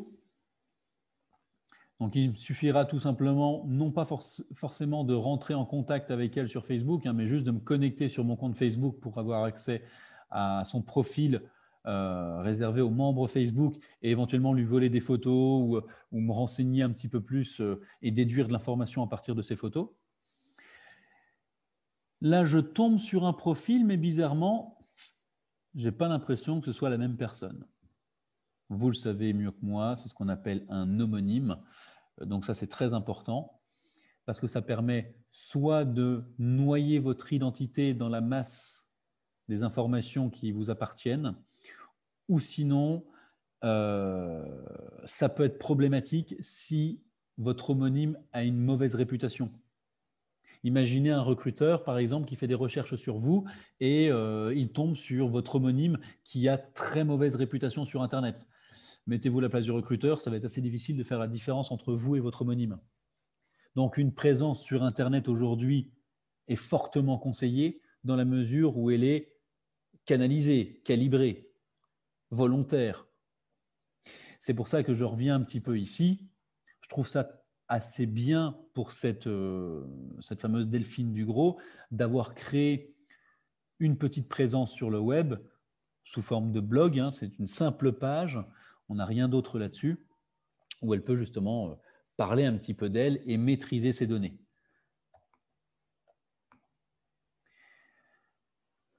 Voilà une autre page internet où il y a de l'information sur elle. Je vous rappelle que le raccourci clavier pour rechercher un mot dans une page, c'est CTRL F. Donc là, il me suffira tout simplement de taper du gros et mon navigateur va me souligner euh, le mot que je recherche, ce qui sera bien plus pratique. Là, j'ai une chaîne YouTube, mais a priori, c'est un homonyme. Elle ne ressemble pas. Et pour terminer, il y, a une, autre page Internet où, pareil, il y a l'identité a priori de Delphine Dugros, juste ici un numéro de téléphone, une adresse mail. Rappelez-vous tout à l'heure, quand je vous ai montré la base de données, qu'à partir des informations liées à la base de données, il était possible de faire euh, de la manipulation hein, de rentrer en contact avec cette personne et puis de la, de la faire chanter, de la manipuler grâce à l'information, eh bien là, c'est exactement ce qui peut arriver. J'ai un numéro de téléphone qui, me paraît professionnel, mais ça, les pages jaunes pourront me le confirmer, et j'ai une adresse mail. Il ne reste plus qu'à rentrer en contact avec elle, mettre en place un scénario qui, va lui générer un une certaine peur, un certain stress, où je vais lui faire croire que je sais plein, plein de choses sur elle. Et petit à petit, je vais lui dire que bah voilà, si elle ne veut pas que je balance ces informations-là, il va falloir payer une certaine rançon. Voici un petit peu le revers de la médaille.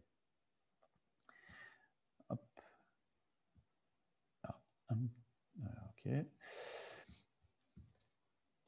Alors, bien évidemment, je ne vous, donne pas, euh, je vous pousse pas dans cette direction. De toute manière, je ne vous donne pas les techniques de façon très précise pour mettre en place euh, ce jeu malsain sur Internet. Mais je pense qu'un point de vue euh, éducatif, c'est très important de savoir comment font très, très grossièrement les pirates Internet pour pouvoir vous prémunir de ça et, de pas, et ne pas tomber dans le piège. Ça, c'est assez important.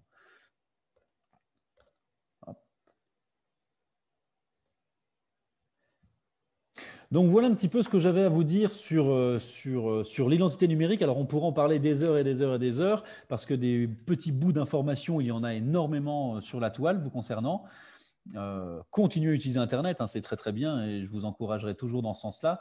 Mais Rappelez-vous, avant de sortir seul de chez vous, vos parents vous ont donné une certaine éducation avec certaines règles. Eh bien aujourd'hui, quand vous utilisez le numérique, vous devez forcément vous y intéresser un tout petit peu et respecter ces règles-là. On ne lâche pas un enfant euh, ou, un adulte sans connaissance dans le monde de l'Internet parce que malheureusement, il va connaître plein de problèmes, euh, plein de dangers et je ne suis pas sûr qu'il ait toutes les armes pour pouvoir lutter contre ça. Merci Cédric. Tu dois avoir un peu soif, non? Un petit peu. Un petit peu. Alors, Peut-être s'il y a des questions avant que je vous parle un petit peu plus de, l'atelier que, vous avez vécu, alors d'une manière un peu particulière, hein, parce que en distanciel et en présentiel, hein, ça ne rend pas tout à fait de la même manière. Mais voilà, est-ce que, vous, est que vous avez un petit peu des, questions euh, sur euh, l'atelier, sur les choses que Cédric vous a présentées, avant qu'on rentre plus dans, sur le, fond de l'atelier? Non? Vous avez une question. Ah, et eh bien on vous écoute. Alors, elle est dans, le chat. Ah, elle est dans le chat.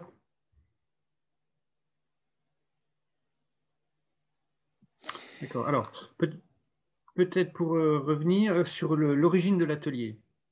En fait, cet atelier-là, euh, ça fait au moins 4 ans, Cédric, qu'on le fait? C'est à peu près ça, hein, je pense. Mmh, mmh. Alors nous, nous on est, hein, vous connaissez peut-être pas très bien la structure, mais nous on est une, structure euh, qui a pour vocation la réduction de la fracture numérique. Hein. on a une convention avec euh, la ville de Dijon et on est, on gère les espaces publics numériques pour la ville de Dijon et on développe tout un tas d'actions euh, autour de la réduction de la fracture numérique. Et puis il y a 3-4 ans, face à ce qu'on peut entendre dans les médias, des jeunes qui s'exposent sur les réseaux sociaux, qui, diffusent n'importe quoi, on s'est posé la question, on s'est dit, bon, nous, en tant que structure euh, autour du numérique, il faut qu'on puisse apporter notre pierre à l'édifice euh, dans ce combat-là. Et puis, on a réfléchi un petit peu en disant, ben voilà, de quoi, qu'est-ce qui fait que euh, les jeunes euh, des, dérives sur Internet. Et en fait, on est venu à la conclusion qu'en fait, ce qui, ce qui manque, c'est euh, de la connaissance sur l'identité numérique. C'est bien ça, l'identité numérique, nos données personnelles. Et c'est ça qui est essentiel. Donc c'est pour ça que cet atelier a été construit.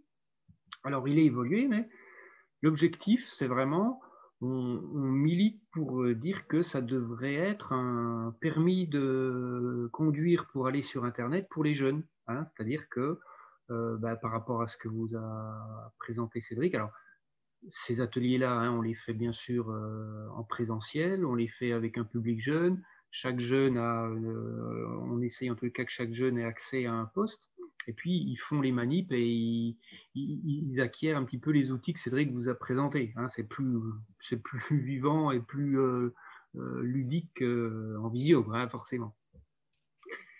Et donc, euh, voilà, hein, on milite pour vous dire que voilà, tous les jeunes devraient avoir euh, ce minimum de connaissances pour essayer, en tous les cas, qui euh, diffusent le moins d'informations possible les concernant sur Internet. Hein.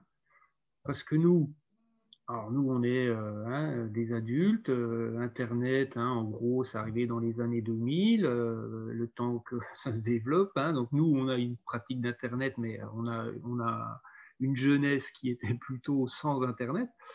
Le problème, c'est que les jeunes, eux, ils sont nés avec, et si ils se répandent tout au long de leur vie, en tous les cas, dans 20 ans, eh ben, on aura euh, tout leur passé, on aura, hein, on trouve même parfois des fois les photos des échographies, même avant qu'ils arrivent, hein, les parents vont diffuser. Donc le problème c'est ça, c'est que euh, euh, où va, comment protéger ces données et comment être, ne pas se répandre sur la toile, parce que les jeunes ils sont nés avec Internet et avec les smartphones.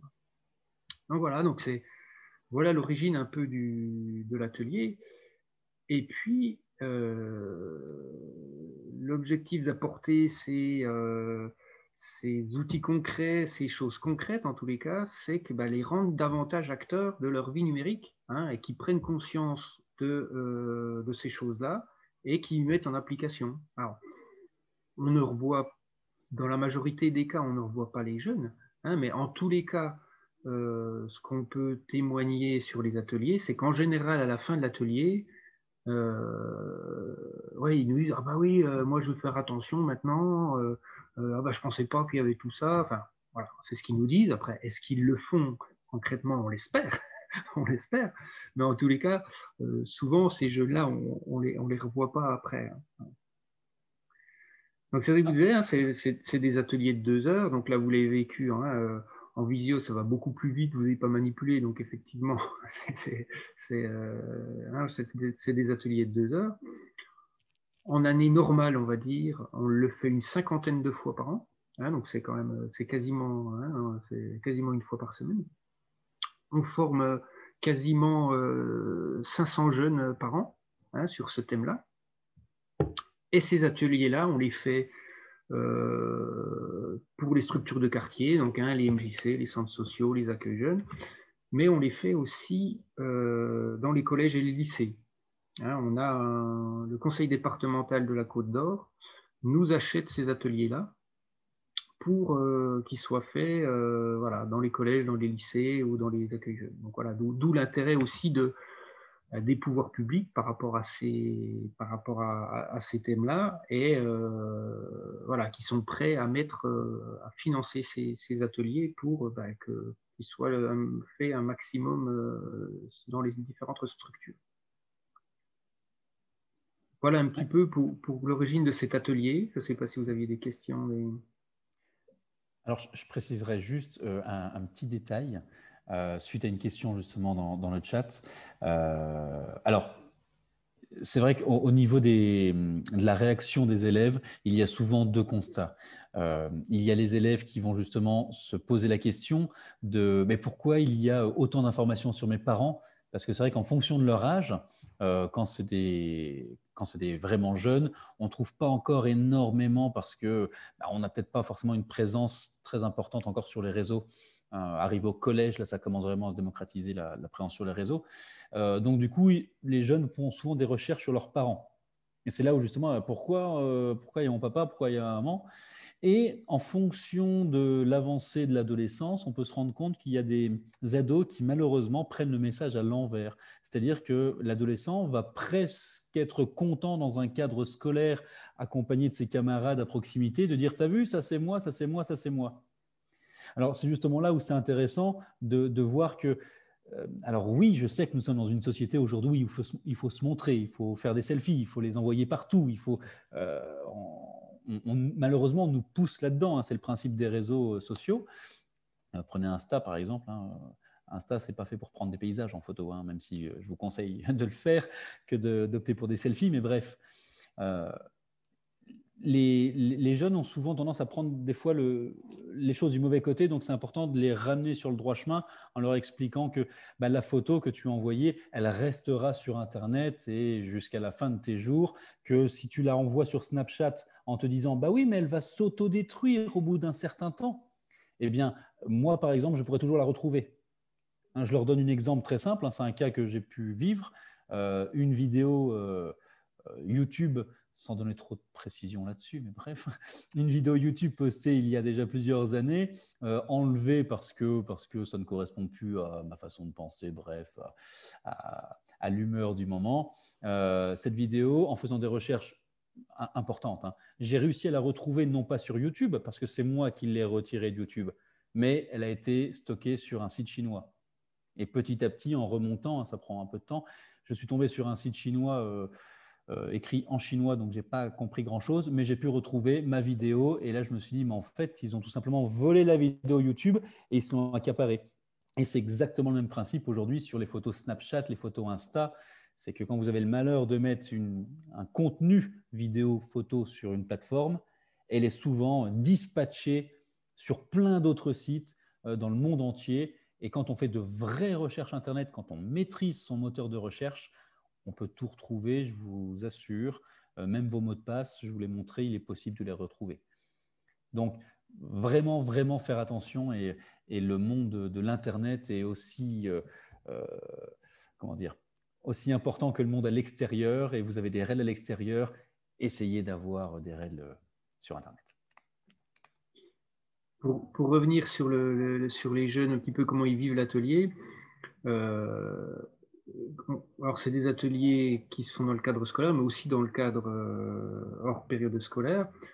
On l'a fait aussi euh, pour des jeunes euh, de MEX, on l'a fait aussi pour des jeunes de l'école de la deuxième chance, donc avec un public des fois qui n'est pas toujours très attentif.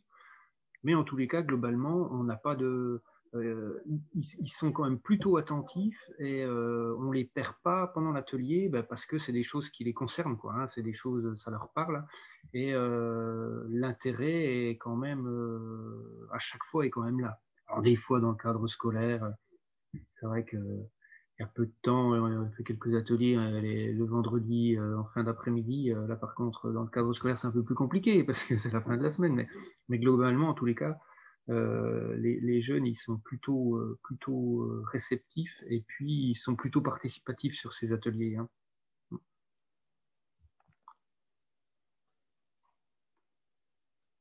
Voilà, je ne sais pas si vous aviez des, remarques, des questions. Il y a des questions dans le chat. Oui. Ah, alors est-ce qu'on forme des formateurs? Donc en fait, euh, non, mais on peut, enfin, non.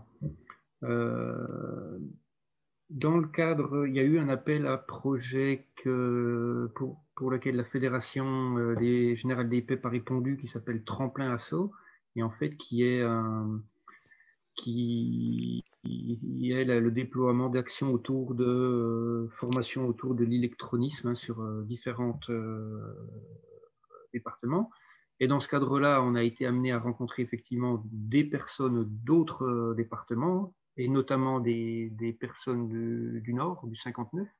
Et effectivement, euh, Cédric leur a fait euh, cet atelier-là en visio, parce qu'ils ont un projet effectivement de développer ce type d'atelier sur leur région on le fait à la demande, hein, mais euh, si vous avez, euh, vous, des projets dans vos départements, et, euh, ça peut se faire tout à fait. Hein. C'est tout à fait envisageable. Sachant qu'il y a d'autres ateliers aussi, hein, ça je dirais que c'est notre atelier phare, mais il y en a d'autres. Cédric fait aussi un atelier sur les fake news, pareil qu'on fait pour le conseil départemental, qu'on fait, donc voilà, qui est hein, plus partie fake news. Et puis, euh, on est en train de réfléchir à un atelier sur la face cachée des réseaux sociaux. Hein, euh, euh, qu'est-ce que mettent en place les réseaux sociaux pour que les jeunes restent le plus longtemps possible Qu'est-ce que font les algorithmes Qu'est-ce qui fait pour Qu'est-ce qui est mis en place par les réseaux sociaux pour rendre les jeunes addicts Voilà. Donc ça, c'est c'est pas encore. C'est, euh, l'objectif, c'est c'est septembre hein, pour cet atelier. Mais voilà, donc il y a d'autres ateliers aussi qu'on peut bien sûr euh, euh, partager si vous avez des projets dans vos départements de développer ce type euh, d'atelier. Et puis pour répondre à s'il y a d'autres acteurs publics, la, CAF, alors pas tous les ans, mais c'était l'année d'avant, la CAF nous avait acheté aussi des ateliers identité numérique et fake news dans le cadre des fonds sur euh, la lutte contre la radicalisation. Et en fait, euh, voilà, ils, hein, ils, étaient partis du principe que mieux maîtriser euh, ses données personnelles et son, identité numérique, eh ben, ça permettait aussi d'échapper un peu au, réseau d'emprise. Donc voilà, donc la, CAF avait acheté ces ateliers-là une année.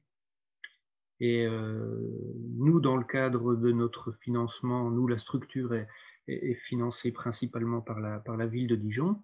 Donc, euh, le financement de la ville contribue aussi euh, à, développer cet atelier-là.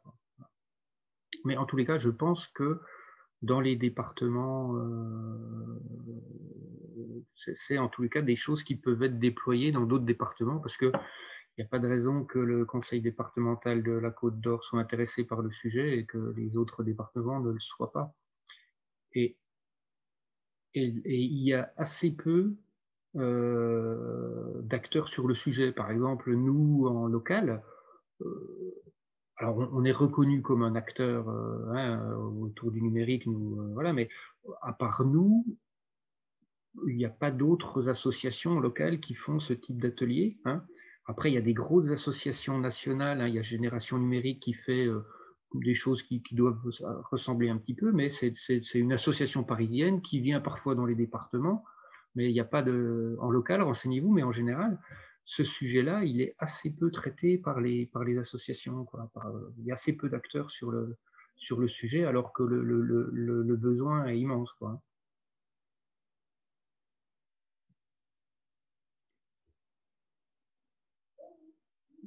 Voilà.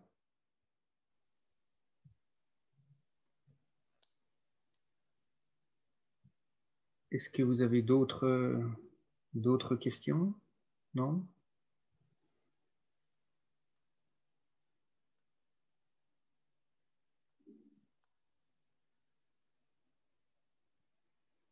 Si pas d'autres remarques, bah, peut-être on va, on va clore cette fabrique avec un peu d'avance, mais euh, Carole m'a dit qu'elle allait, euh, qu'elle allait euh, prendre le relais. Il n'y a pas de souci. En tout cas, vraiment infiniment merci à tous les deux, parce que c'est une fabrique vraiment intéressante.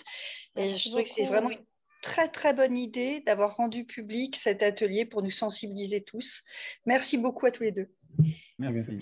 Juste, on, a parlé beaucoup des jeunes, mais on le fait aussi pour des adultes. Hein, on le fait, euh, euh, c'est vrai qu'on on, le fait essentiellement pour des jeunes, mais on le fait aussi pour des adultes. Euh, pour nos usagers.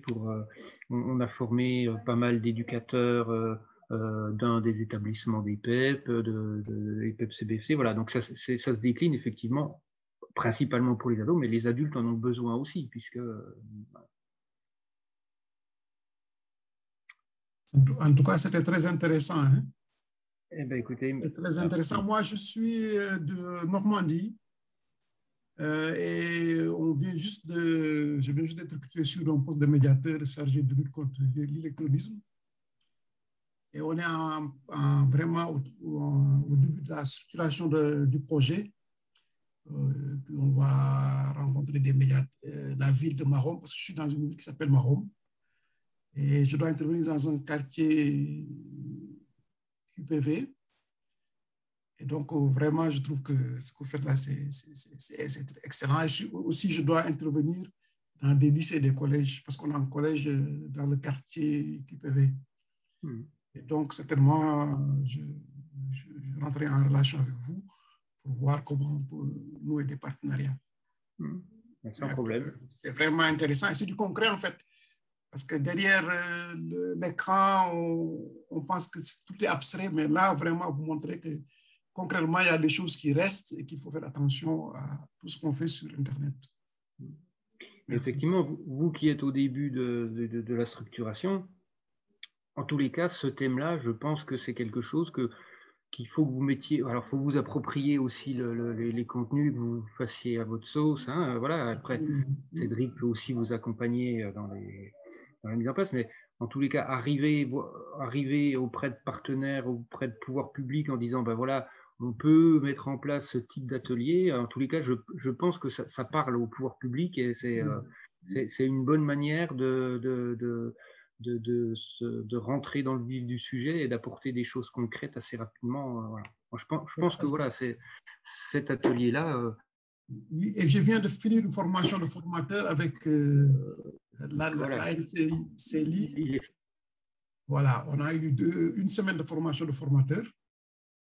Et donc, cet, cet, atelier, cet atelier complète la formation que j'ai eue en, en amont.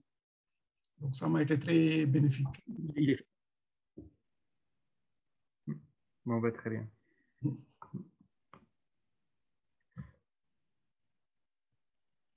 Eh bien, ma foi, si pas d'autres questions, on vous remercie de, votre attention et puis, euh, et puis bonne continuation à tous sur les fabriques. Merci. Merci. Merci. Au revoir. Merci. Au revoir.